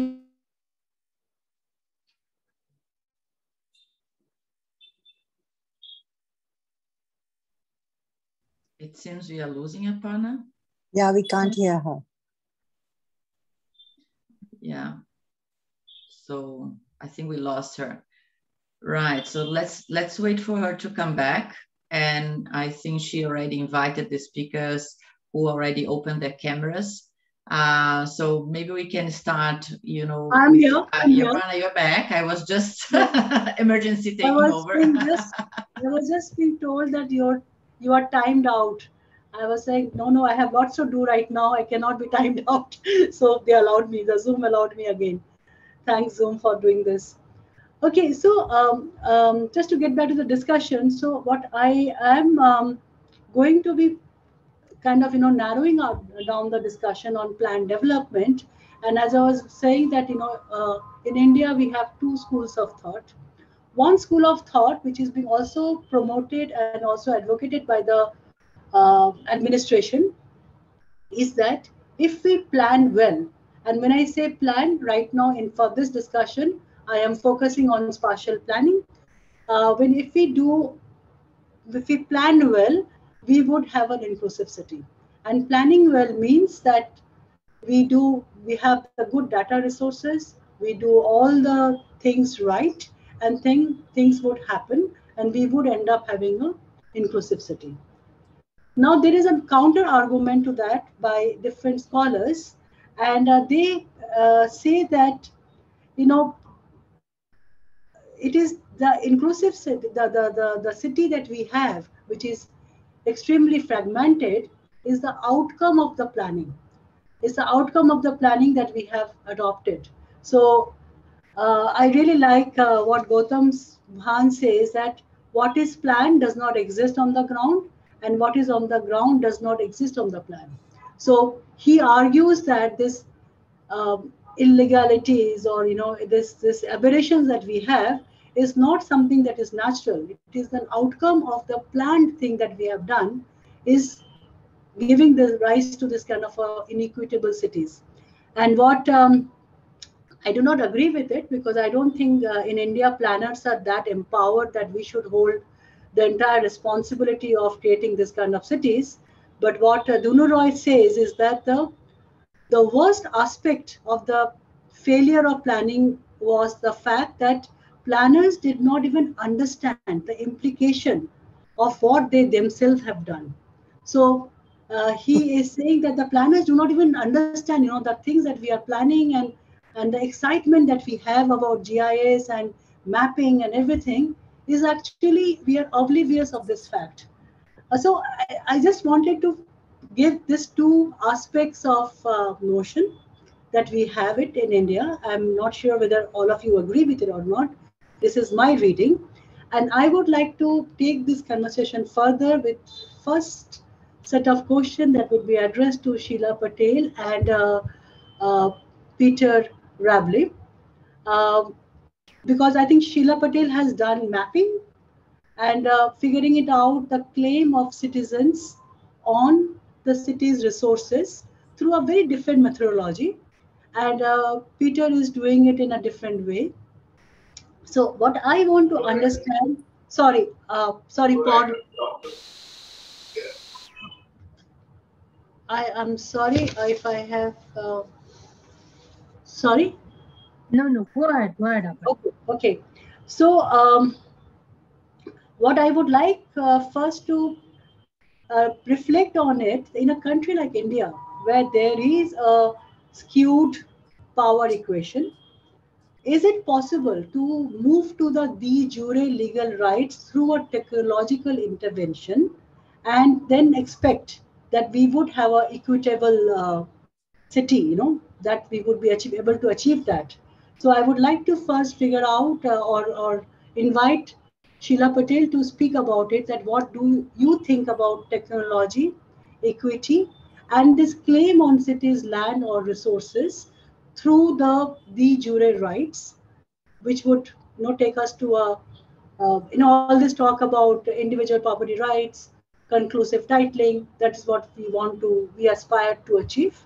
And then would like uh, uh, Mr. Rabley to talk about, you know, what does he think about how technology can be used in a context like India, where 80% people are employed in unauthorized uh, segment. Most things are informal. The, the, the, the justice system is not strong. Uh, as you know that you know most of our courts are jammed with uh, land related disputes so in such situation how would technology work? So i invite first to uh, sheela patelji to talk about it and then uh, mr Rabley. yeah? Thank you. Uh, over to you Aparna, how much time are you giving me? How much time are you giving me to speak? Five Uh, minutes ten minutes? five minutes. Yeah? Okay. Because so yeah. so thank you very much. Uh, i've attended uh, all your sessions after a long time. And i truly represent the deep dismay of dysfunctional planning by dysfunctional professionals in a dysfunctional city environment. With no with full apologies that this is not intended as a negative thing for anybody but every instrument has to have a framework within which it functions well. You take the you take all the cities of the global south. Just don't take bombay is a deep deep aberration. But you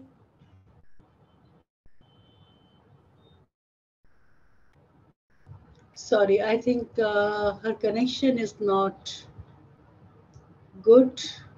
We exponentially increased by the challenges of climate change.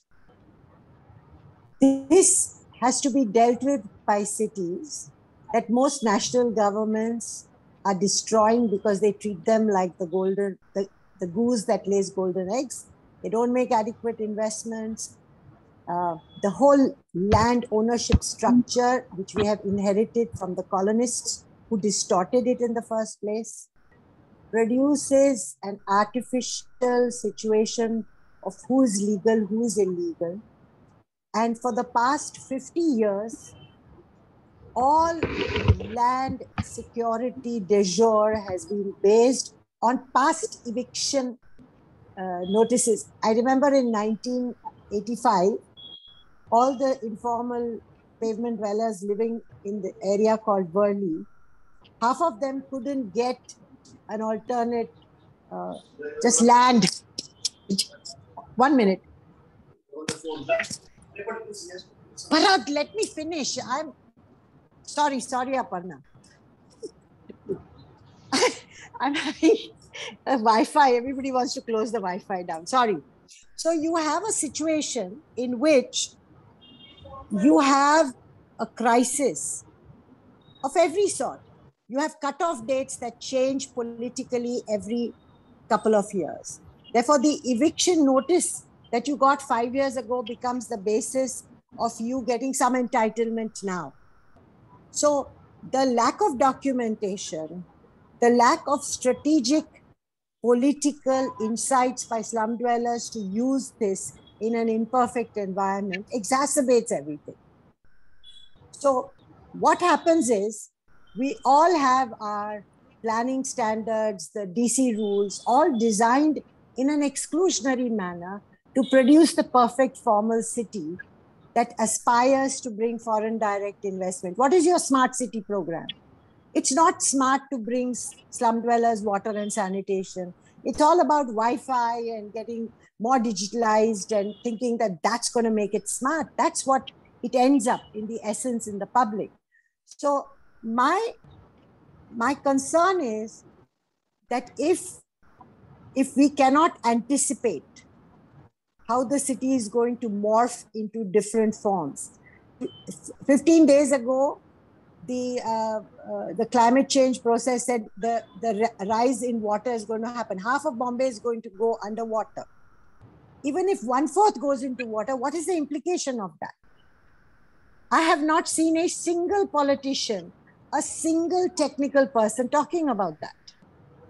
So, what I'm trying to say is that these conversations that we are having are, are deeply, um, are really um, unfortunate because, like you say, there is this kind of great division between what is it.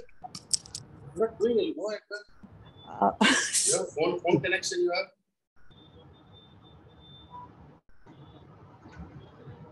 Um,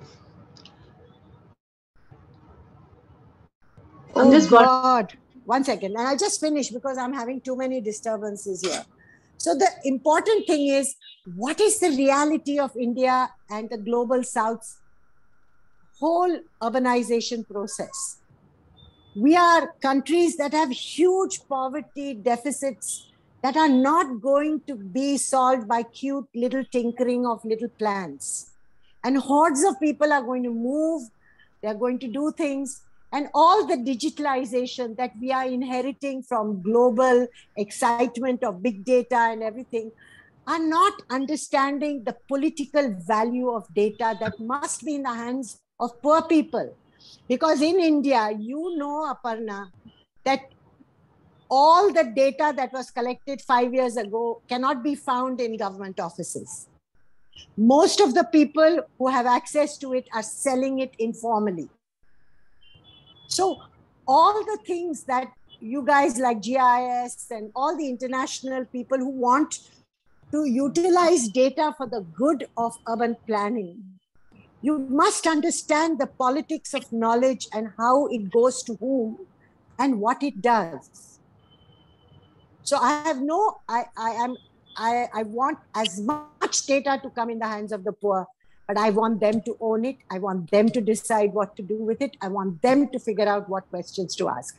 None of the global institutions give us permission to do that. They all want to extract our data in a very benign way.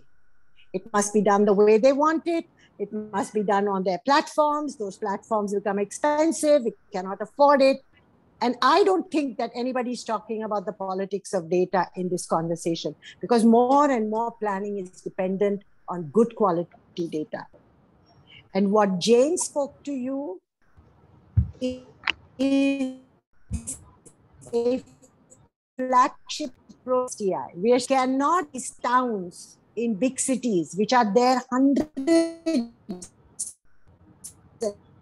hundreds of them, by these conventional plans, coming from politically, are the way forward. They may be having flaws, but that can be changed. But I challenge conventional planners, they will not touch this process. So I, I put this challenge back to this session of what is your imagination of a city and what it needs to do. Thank you. And I'm so sorry with all these disturbances, but I have everybody coming and saying, can I put off the Wi-Fi? So I'm going to leave right now. And I'm I probably may listen to the conversation, but I won't be able to participate in it anymore. Thank you. Absolutely fine. Absolutely fine. Uh, I think your point is um, something that we also had been debating. Uh, I think actually, in fact, uh, in the today only, me and Georg were having this big conversation about, you know, how this data, what is the data policy, how the data, uh, you know, is shared. So this conversation is not that it's not happening, but um, uh, I would say uh, the, the smell or the sense that you bring it from the ground, uh, it, it is something that we need to be aware of because um, this has been uh, what we see in Mukuru uh, and what we see in our smart cities program. I think there is this disconnect. So I am not. I, I, am completely. I understand the, the. I understand that passion and that particular thing that uh, Sheelaji has just brought in it's unfortunate that she won't be able to listen to the other side of story uh, that uh, I think uh, um, would be presented by Peter. Um, what what I really feel is that you know this conversation is actually not new about this you know uh, this idea of our unintended city. So I think the Jai Sen said it in 1976, and even uh, Gita Dewan Verma said it very recently. So this unintended city, like you know, we all behave as if we are the do-gooders, and that's the reason we would do it. But then what happens is something that is very different. So uh, may I now invite Peter that you are an GIS enthusiast, you believe in technology, but tell me how do we, uh, what is your opinion that um, how do we do in a country like this where uh, the power equation is so skewed that uh, I, I was part of the GIS mapping that happened under Ray. And all municipal corporation, after taking this uh, thorough GIS uh, mapping exercise, all they ended up is with the PDFs. They didn't have access to the open files because they were not having that capacity to work on that. And they all they received is a PDF.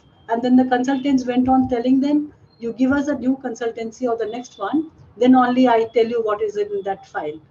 So we do have a lot of experiences and uh, this uh, uh, asymmetry in the knowledge. But I would like to know when you implement what you are seeing in a country like um, India or Global South, what are the changes that you are thinking of? Yeah, over to you. I don't think I see you, but uh, let me see. Yeah. Yeah, thank you, Aparna. And uh, thank you, for asking me to join. So uh, I should first start by saying I am certainly not an academic and I'm not anywhere close to the august uh, members of this group in terms of their knowledge of urban systems and planning systems. I am a technologist with 30 plus years. I've spent the last eight years doing investments and grant making at Omidyar Network, some of which was in India and some of which was around uh, um, slums and uh, various other uh, activities. Um, I, I, mean, you said a lot, Aparna, in your uh, in your sort of question to me that that seems is sort of um, conflating a number of different issues. I think the uniqueness of, of control of information to extract value in India is, is not unique to India. This happens all over where uh, people control information for uh, their own personal gain. Um, and certainly the, the uh, what you describe in terms of limiting access to PDFs and saying you've, you've got to pay me or engage me more to give you is not an indication of what technology can do and what it has done. Uh, that, that seems to me a very specific uh, issue that could be dealt with separately. Um, on the one hand, technology is uh, inevitable, it's essential, and you have to figure out how you're going to engage with it because whether you like it or not, it is uh, ever increasing. Um, we have more and more ability to surveil people in real time, including the poor, whether you like it or not, um, and whether you grant access or not. Um, I think what's more important is how do you lay the principles uh, around which uh, you have policies that allow for engagement in this information. I think that's true whether you're a shack dwellers organization um, looking to structure governance for how information is managed within shack dwellers, or uh, how you might have corporations uh, collecting data and engaging around uh, the use of that information and the sharing of that information. I would point you to something that we had funded towards the end of our work at Omidyar Network, which is now a global set of principles around the ethical use of location data, which is now called the LOCUS Charter, L-O-C-U-S. And it's precisely an attempt to engage government, academia, civil society, and private sector on what good looks like in terms of um, the use of um, location data. So we know that um, when we look at COVID analytics over the past 18 months, um, the ability of Facebook, Google, and Apple to provide information about communities, low income and otherwise, and their daily mobility, um, and not just how often they move, but where they move and at what times they move, has proven to be essential for uh, COVID response. And these platforms are continuing to collect information because people, whether they're knowing or not, are continuing to uh, create a daily exhaust of data that is harvested, um, most of the time for which they don't benefit. So these data volumes are enormous. They will only increase you can have a, a reaction of a government to completely ban or shut down. And we've seen that that doesn't typically work. So the question is really how do we create a, an environment for the good use of these data um, and um, put them to good use? Because there are tremendous benefits uh, to be able to have the type of information that is useful to all who are trying to deal with this problem um, there's a benefit for people hiding in the shadows, whether you're government, private sector, planners and practitioners, you can, um, you can fudge things, if you will. You can uh, deny things. You can be held unchallenged. Um, you can be held hostage by anecdotes, uh, by those who are supposedly experts um, to promote a particular viewpoint. So I think uh, information is extremely important.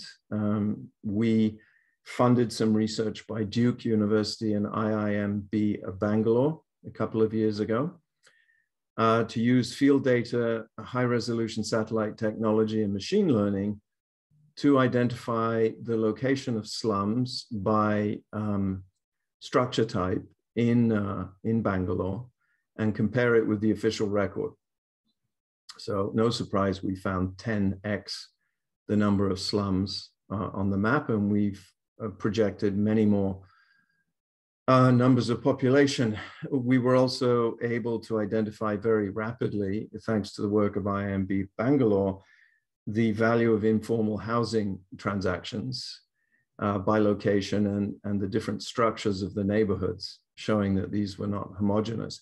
So this information was extremely useful in bringing together a number of senior politicians and practitioners to have a, a rather frank dialogue around uh, economic value and uh, lack of capture of economic value and so forth. So having said all of that, of course, technology, as, as a technologist, uh, I'm not going to pretend that it's the answer. And I think it's naive to suggest that another magical uh, machine learning algorithm is somehow going to solve these complex um, social uh, and other problems. It, it won't, of course not. But without the technology and without the data, you don't stand a chance. And without addressing the power imbalance of the way data is collected, I'm not talking about foreign consultants, I'm talking about digital platforms, which is where the real power imbalance uh, lies today. If we don't address engaging with those power platforms and utilizing that data, then I don't think we can uh, move forward. So Aparna, let me stop there. Uh, thank you. Um, uh, hopefully that was your counterpoint to Sheela, so I'll leave it there. Yeah, uh, uh, is this? Uh, I would say that there is never this, you know, yes or no answer, and um, uh, technology is very important. Actually, we the way we are today is because of technology. So we cannot deny that, you know, that there is a uh, there is a kind of a contribution made by technology. Only thing is that you know who is using it for whose benefit and how it is used. And I think the state does have a big role uh, in, in defining that. So uh, our data uh, policies, you know, our data safety policies and all those stuff, I think these are all uh, things that a state has to take a decision on. And uh, uh, it is not completely in the private domain. So it's interesting to take these two viewpoints. And I also have a have a point there, you know, like I think that technology has helped poor people a lot, at least in India with the mobile phones. Uh, I think the poor has much more, they are more connected, they have more access. So maybe technology, we cannot just say that it is always anti-poor. Let me move to the next uh, discussion. And here I invite uh, Georg Hong and um, and uh, Teresa. And uh, this is a very, uh, for you, uh, uh, three of you, I would like to ask that, you know, in case of taking the backdrop of India, like if that is what the Global South representative, what we need to have as a prerequisite to do spatial planning. You know, we are talking about spatial governance, we are talking about spatial equity, now, what do we require as a prerequisite, which is a must, must thing, without which we cannot do it? And in this pre-COVID era, it also has opened up more, uh, more I would say, aspects like the like the discussion on urban commons, which is not really done in India as such. Uh, and when I say urban commons, I mean public space as a subset of that. Now, those things are not part of our discussion or part of our vocabulary. So, if this is what uh, the the new situation, so what I would like to know from three of you, in very briefly, maybe two minutes or three minutes each, uh, what exactly is the you know the cornerstones that we need to first place it? Instead of saying that you know it's the planners who is at fault it's the politicians who is at fault or uh, we do not have um, good um, you know knowledge or we do not have the capacity. So not fault finding but um, what do you think are the prerequisites for doing a planning? So shall we start with uh, hong and then uh, teresa and then lastly Georg is that okay yeah thank you Aparna yeah can you can you hear me yes very well very well yeah, okay. Uh, thank you for uh, inviting me. It's my great honor. And actually, summarizing the prerequisite for the planning for two minutes is uh, impossible, but let me try and then maybe I can get back to you. I mean, if uh, there will be any uh, remaining times. I think, uh, yeah, it's related with the technologies and data for the objective and consistent and uh, sustainable uh, planning, sustainable way for urban uh, development.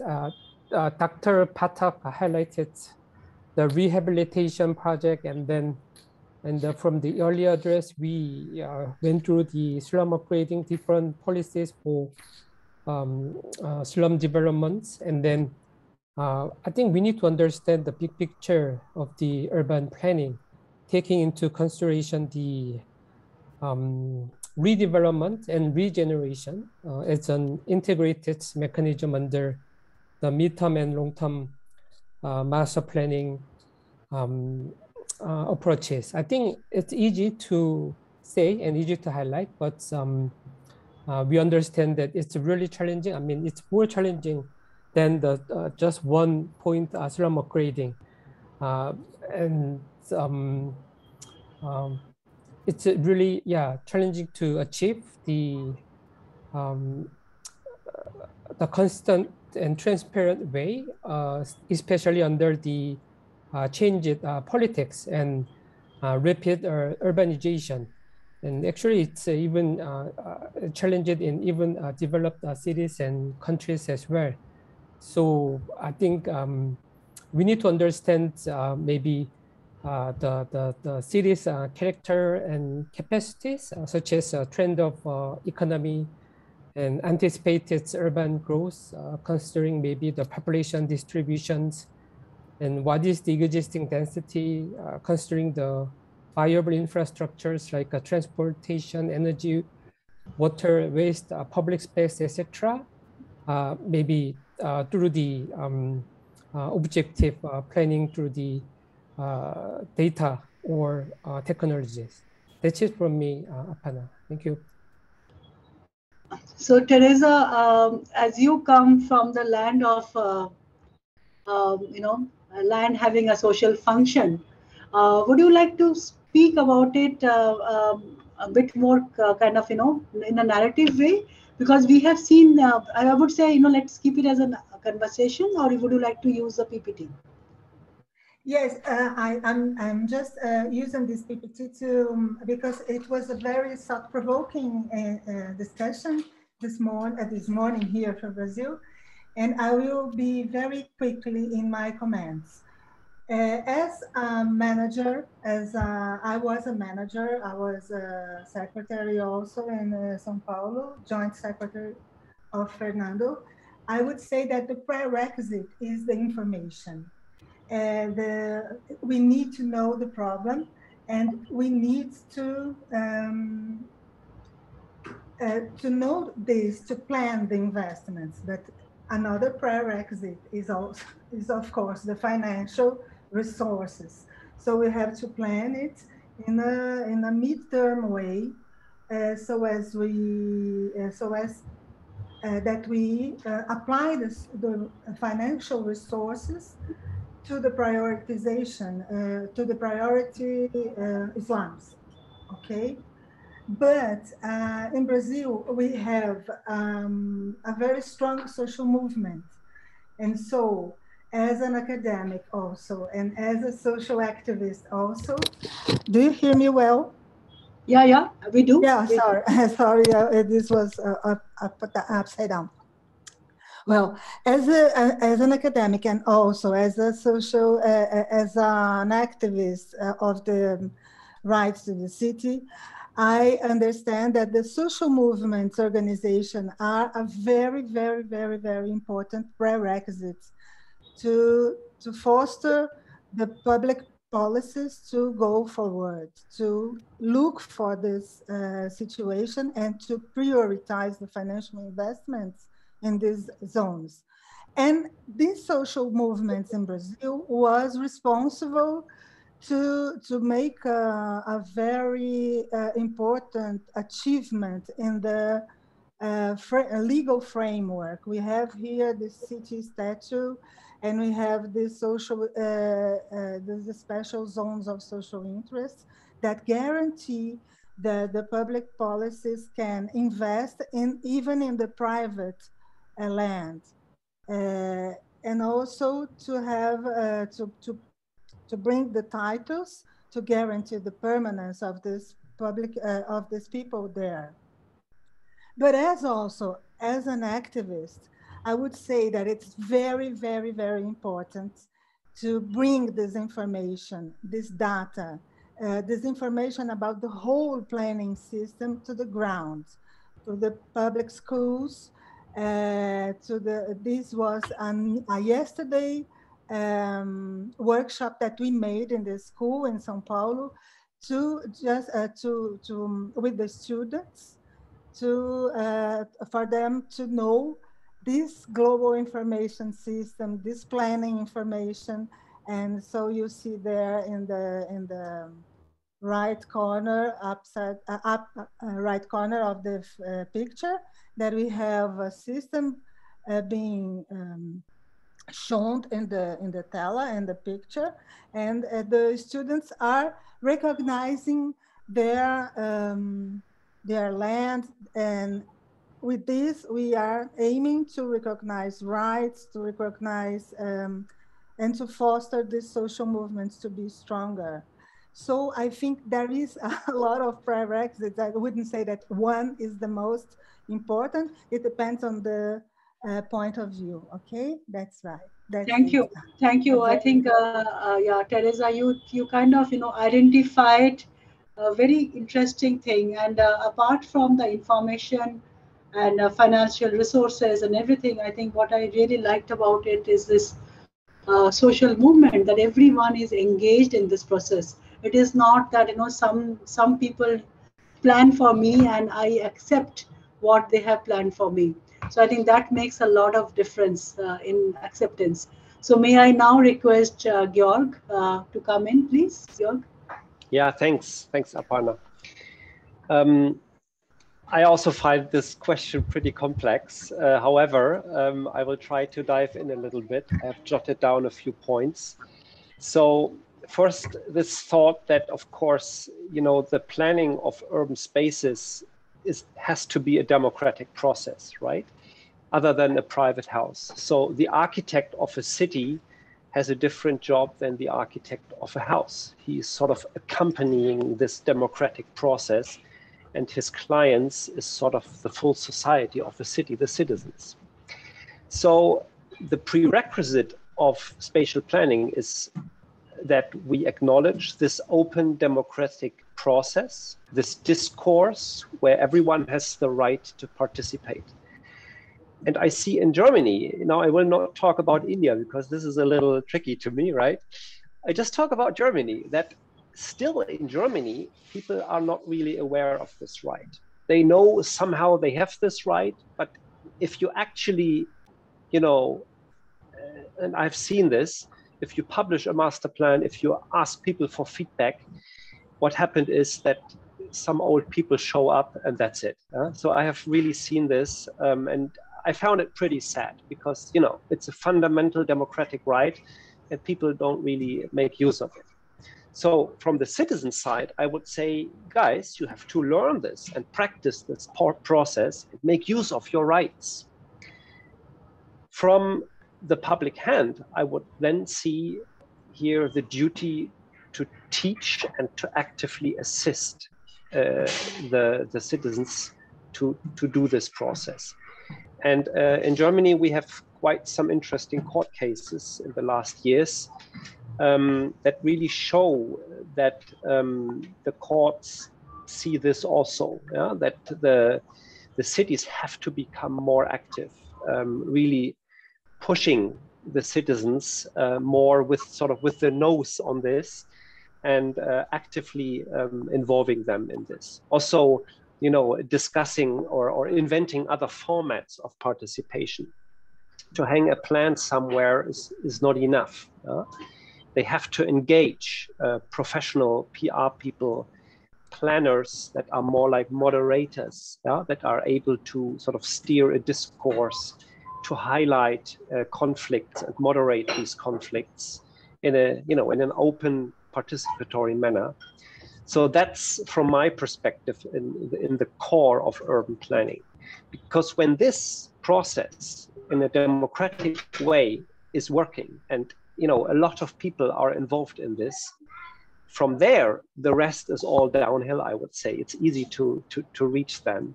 But if this very core of, of you know, planning, if it's not democratic, then we can just forget it from the very beginning. Back to you, Aparna.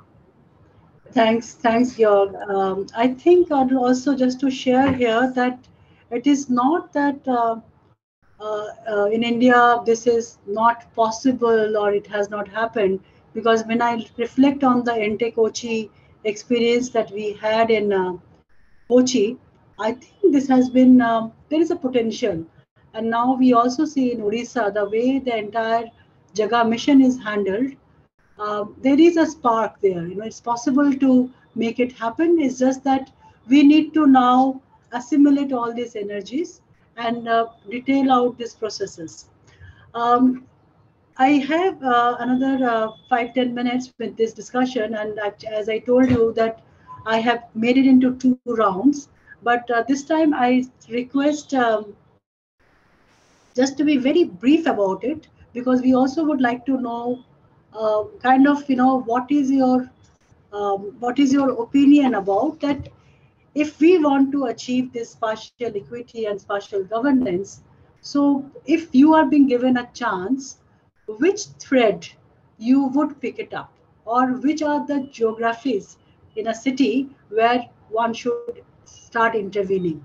So this is again a very uh, open question. All i'm asking you that i know that we need to do many things but if for today's conversation if you have to pick up one point and one geography within the city where would you like to focus?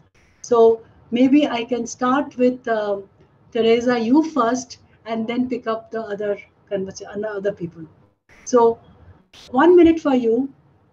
If you have to do one intervention, one stream, and one geography within the city, where would you do it? So, I'm also trying to understand if we have to have an action point, what shall we do? Is that okay, Teresa, to go first? Yes, yes, yes, it's okay.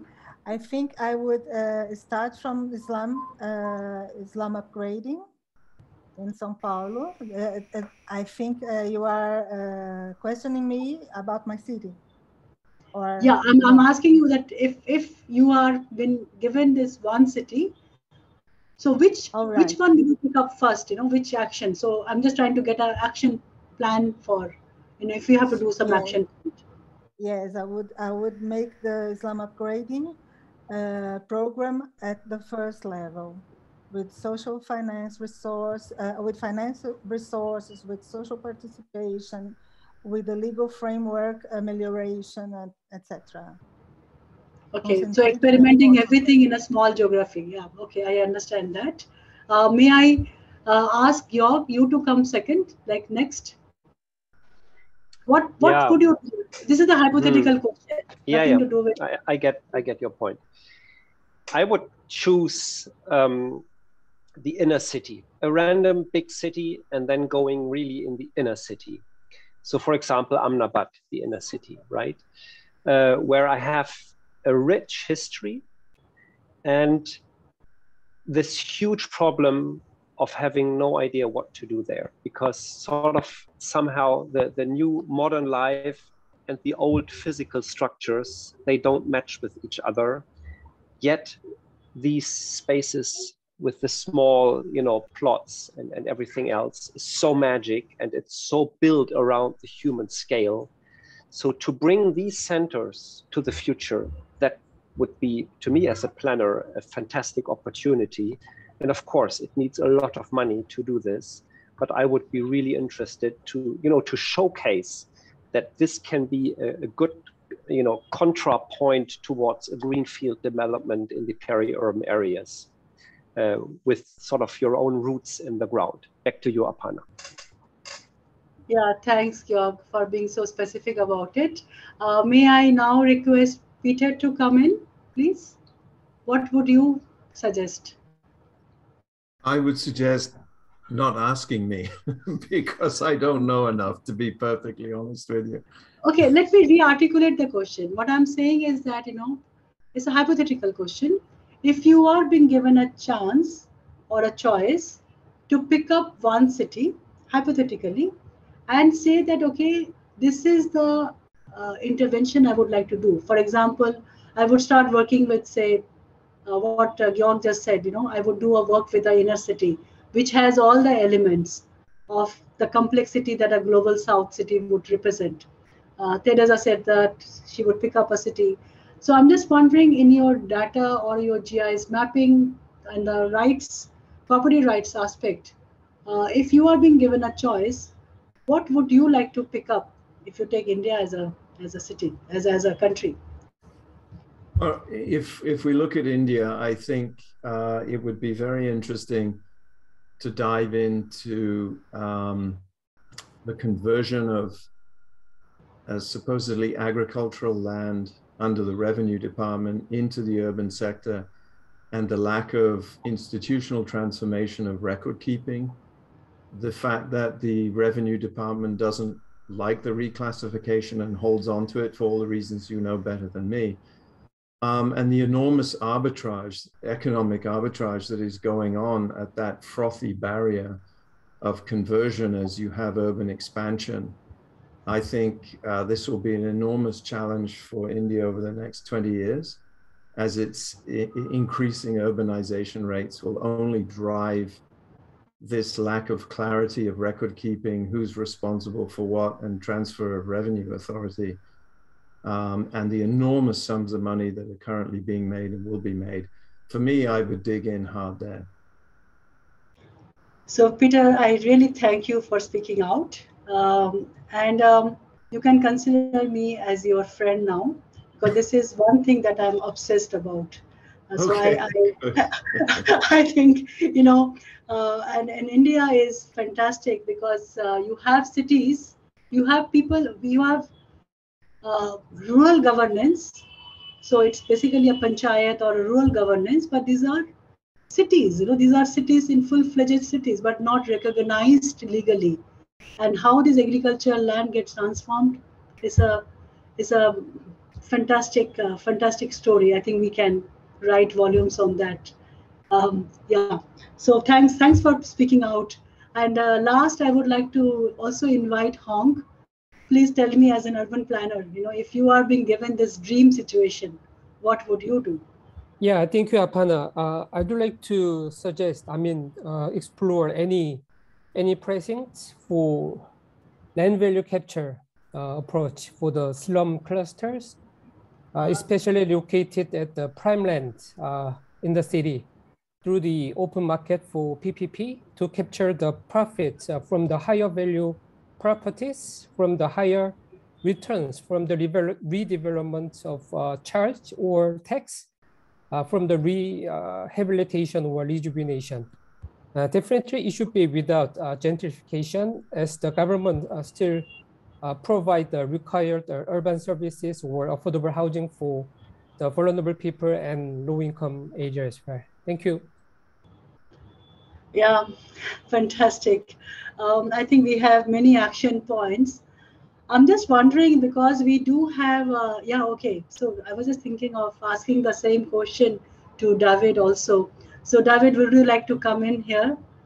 And uh, Vidyadharji, as you are already here, I would also like to know your opinion on this revenue department and our um, spatial planning discipline. Uh, so first to David and then to uh, Vidyadharji. David, please.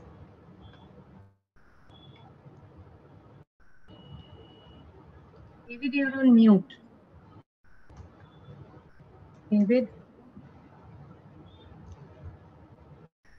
Sorry, I can't uh, hear him. David, you have to unmute yourself.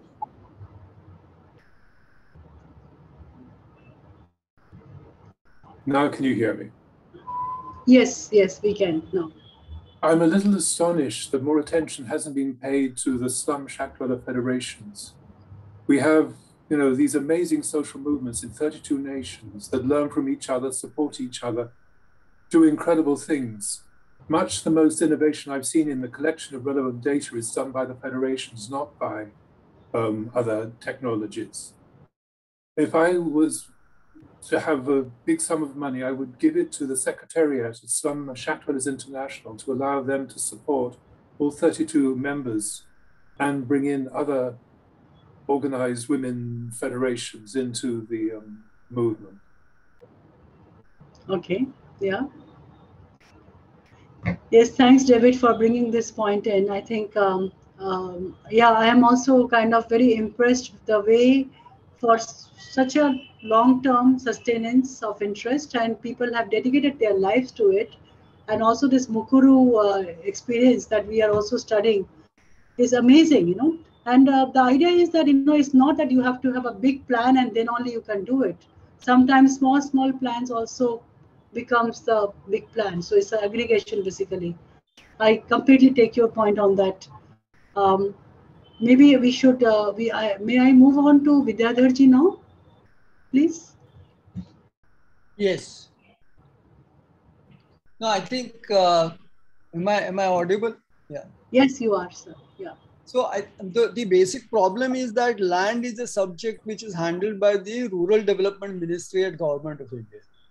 And uh, similarly at the state level is the revenue departments and they don't want to let go their hold on land as far as urban areas are concerned. And they carry the legacy of uh, maintaining the uh, land records in the colonial style, which was essentially for agricultural and rural purposes even within the city, when the master plan says this land can be used for residential purpose, the landowner has to first go to the revenue department, get a, a non-agricultural permission to do that. So I think those need to be sorted out. In 1988, uh, the National Commission on Urbanization had recommended that there should be a separate directorate of urban land records at the state level.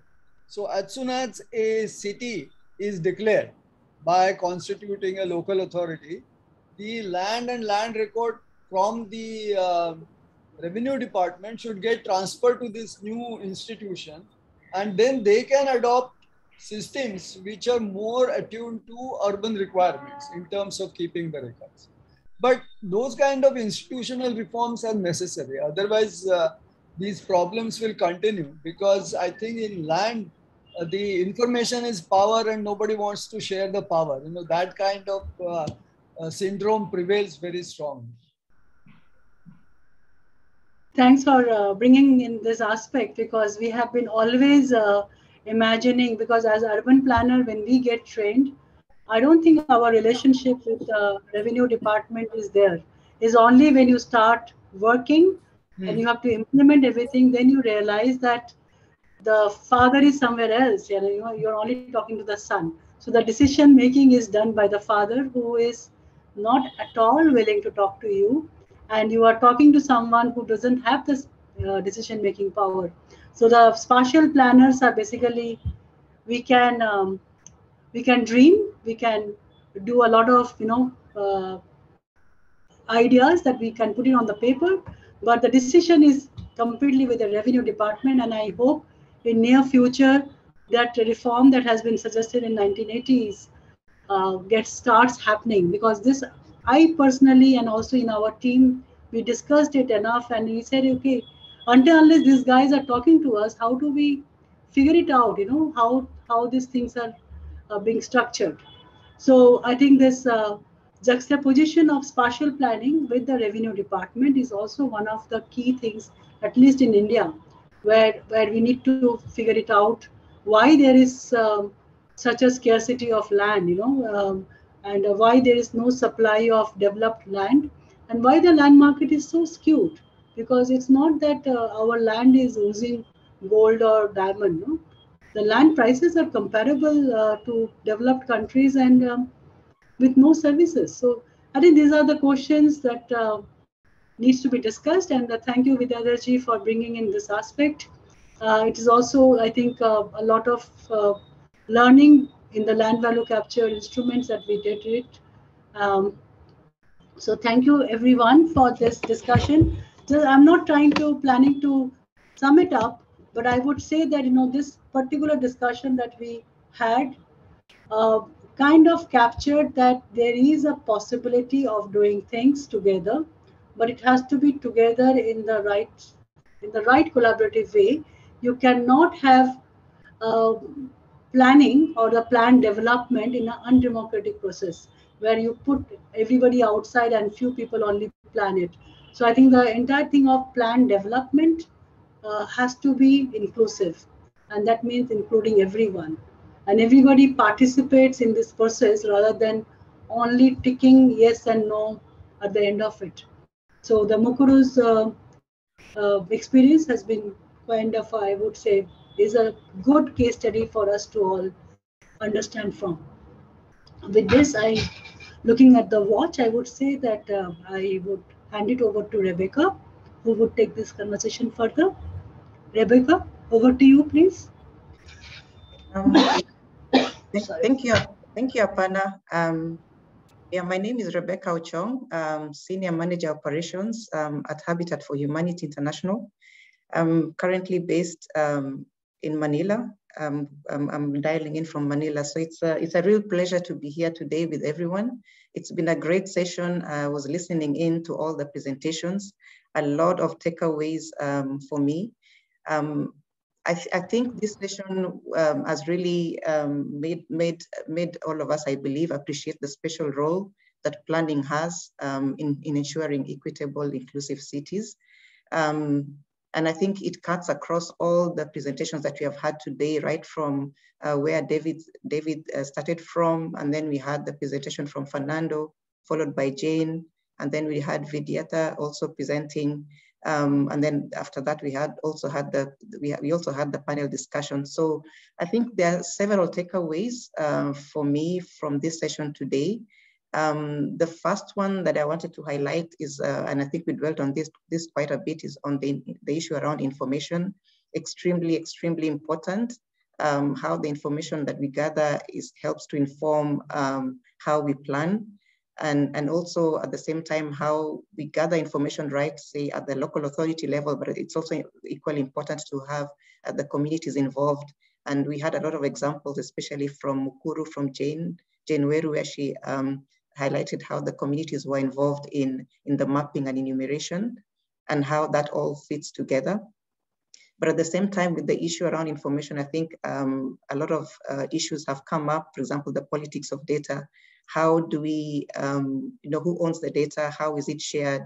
Uh, but at the same time, we need to recognize that the technology is inevitable, it's essential. So how do we ensure that information that is gathered is not misused, it's used in, a, in an ethical manner and that we address any power imbalances um, around that. So um, really a key important uh, you know, area that I think we need to look at, we need that information um, for, for planning.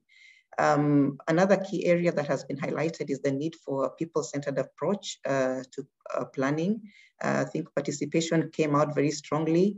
It's important to ensure that um, everyone, all the everyone is included in the process, and the communities are also empowered um, to um, to be able to participate in the process. So it's not just about uh, being counted in numbers, but at least uh, they have to be able to meaningfully engage um, in the whole process. Um, and, and, and then I think another area also um, that was also raised, I think Georg uh, uh, mentioned this is about the need for democratic processes. I think that also still fits in uh, with having ensuring a people-centered approach. If we have a democratic process, it ensures that uh, we acknowledge that uh, you know the citizens' right um, to, to, to be able to participate. And then also there's the, the element of co-production with communities um, that has also been raised quite a bit um, uh, because I, I, I, when we co-produce with communities, then it ensures uh, there's that ownership um, in terms of the planning that we do and, and, and that their interests are, are, are taken into consideration. Another key area that, that has been raised and also came through many of the presentations, I think, for example, the one from India of uh, the Mumbai slum upgrading one, and then also for the Sao Paulo case is the issue around financing. And uh, looking at this, um, you see how they've leveraged uh, land and property taxes at the same time using uh, land value capture mechanisms um, to finance, uh, whether it's slum upgrading or social housing or the provision of other infrastructure. So uh, financing is very important. And I, and I like also um, the input that came from um, from Teresa, where she talked about, of course, she talked about information first, but then also uh, stressed the importance of financing, uh, very important for, uh, for the planning.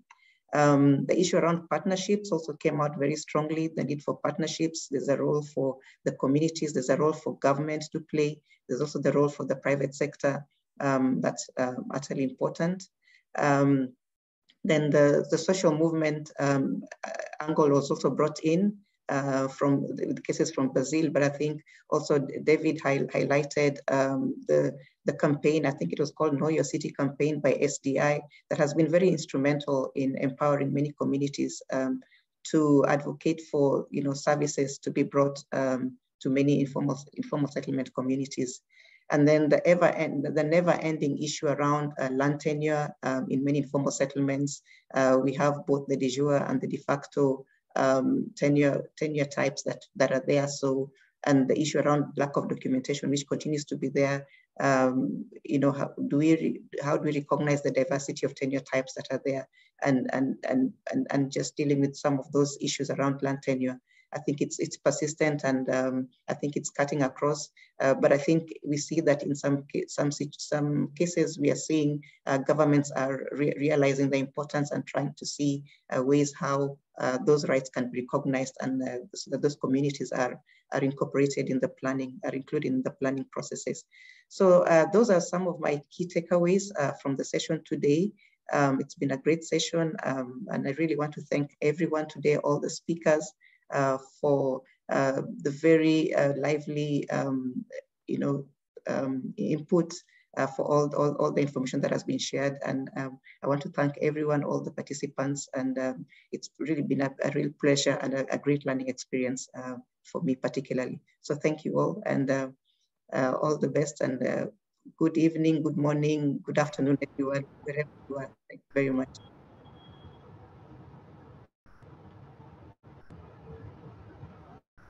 Thank you, and we hope to see all of you on 22nd. Thank you, everyone. Bye Thanks. for today. Bye-bye. Thanks, everyone. Bye-bye.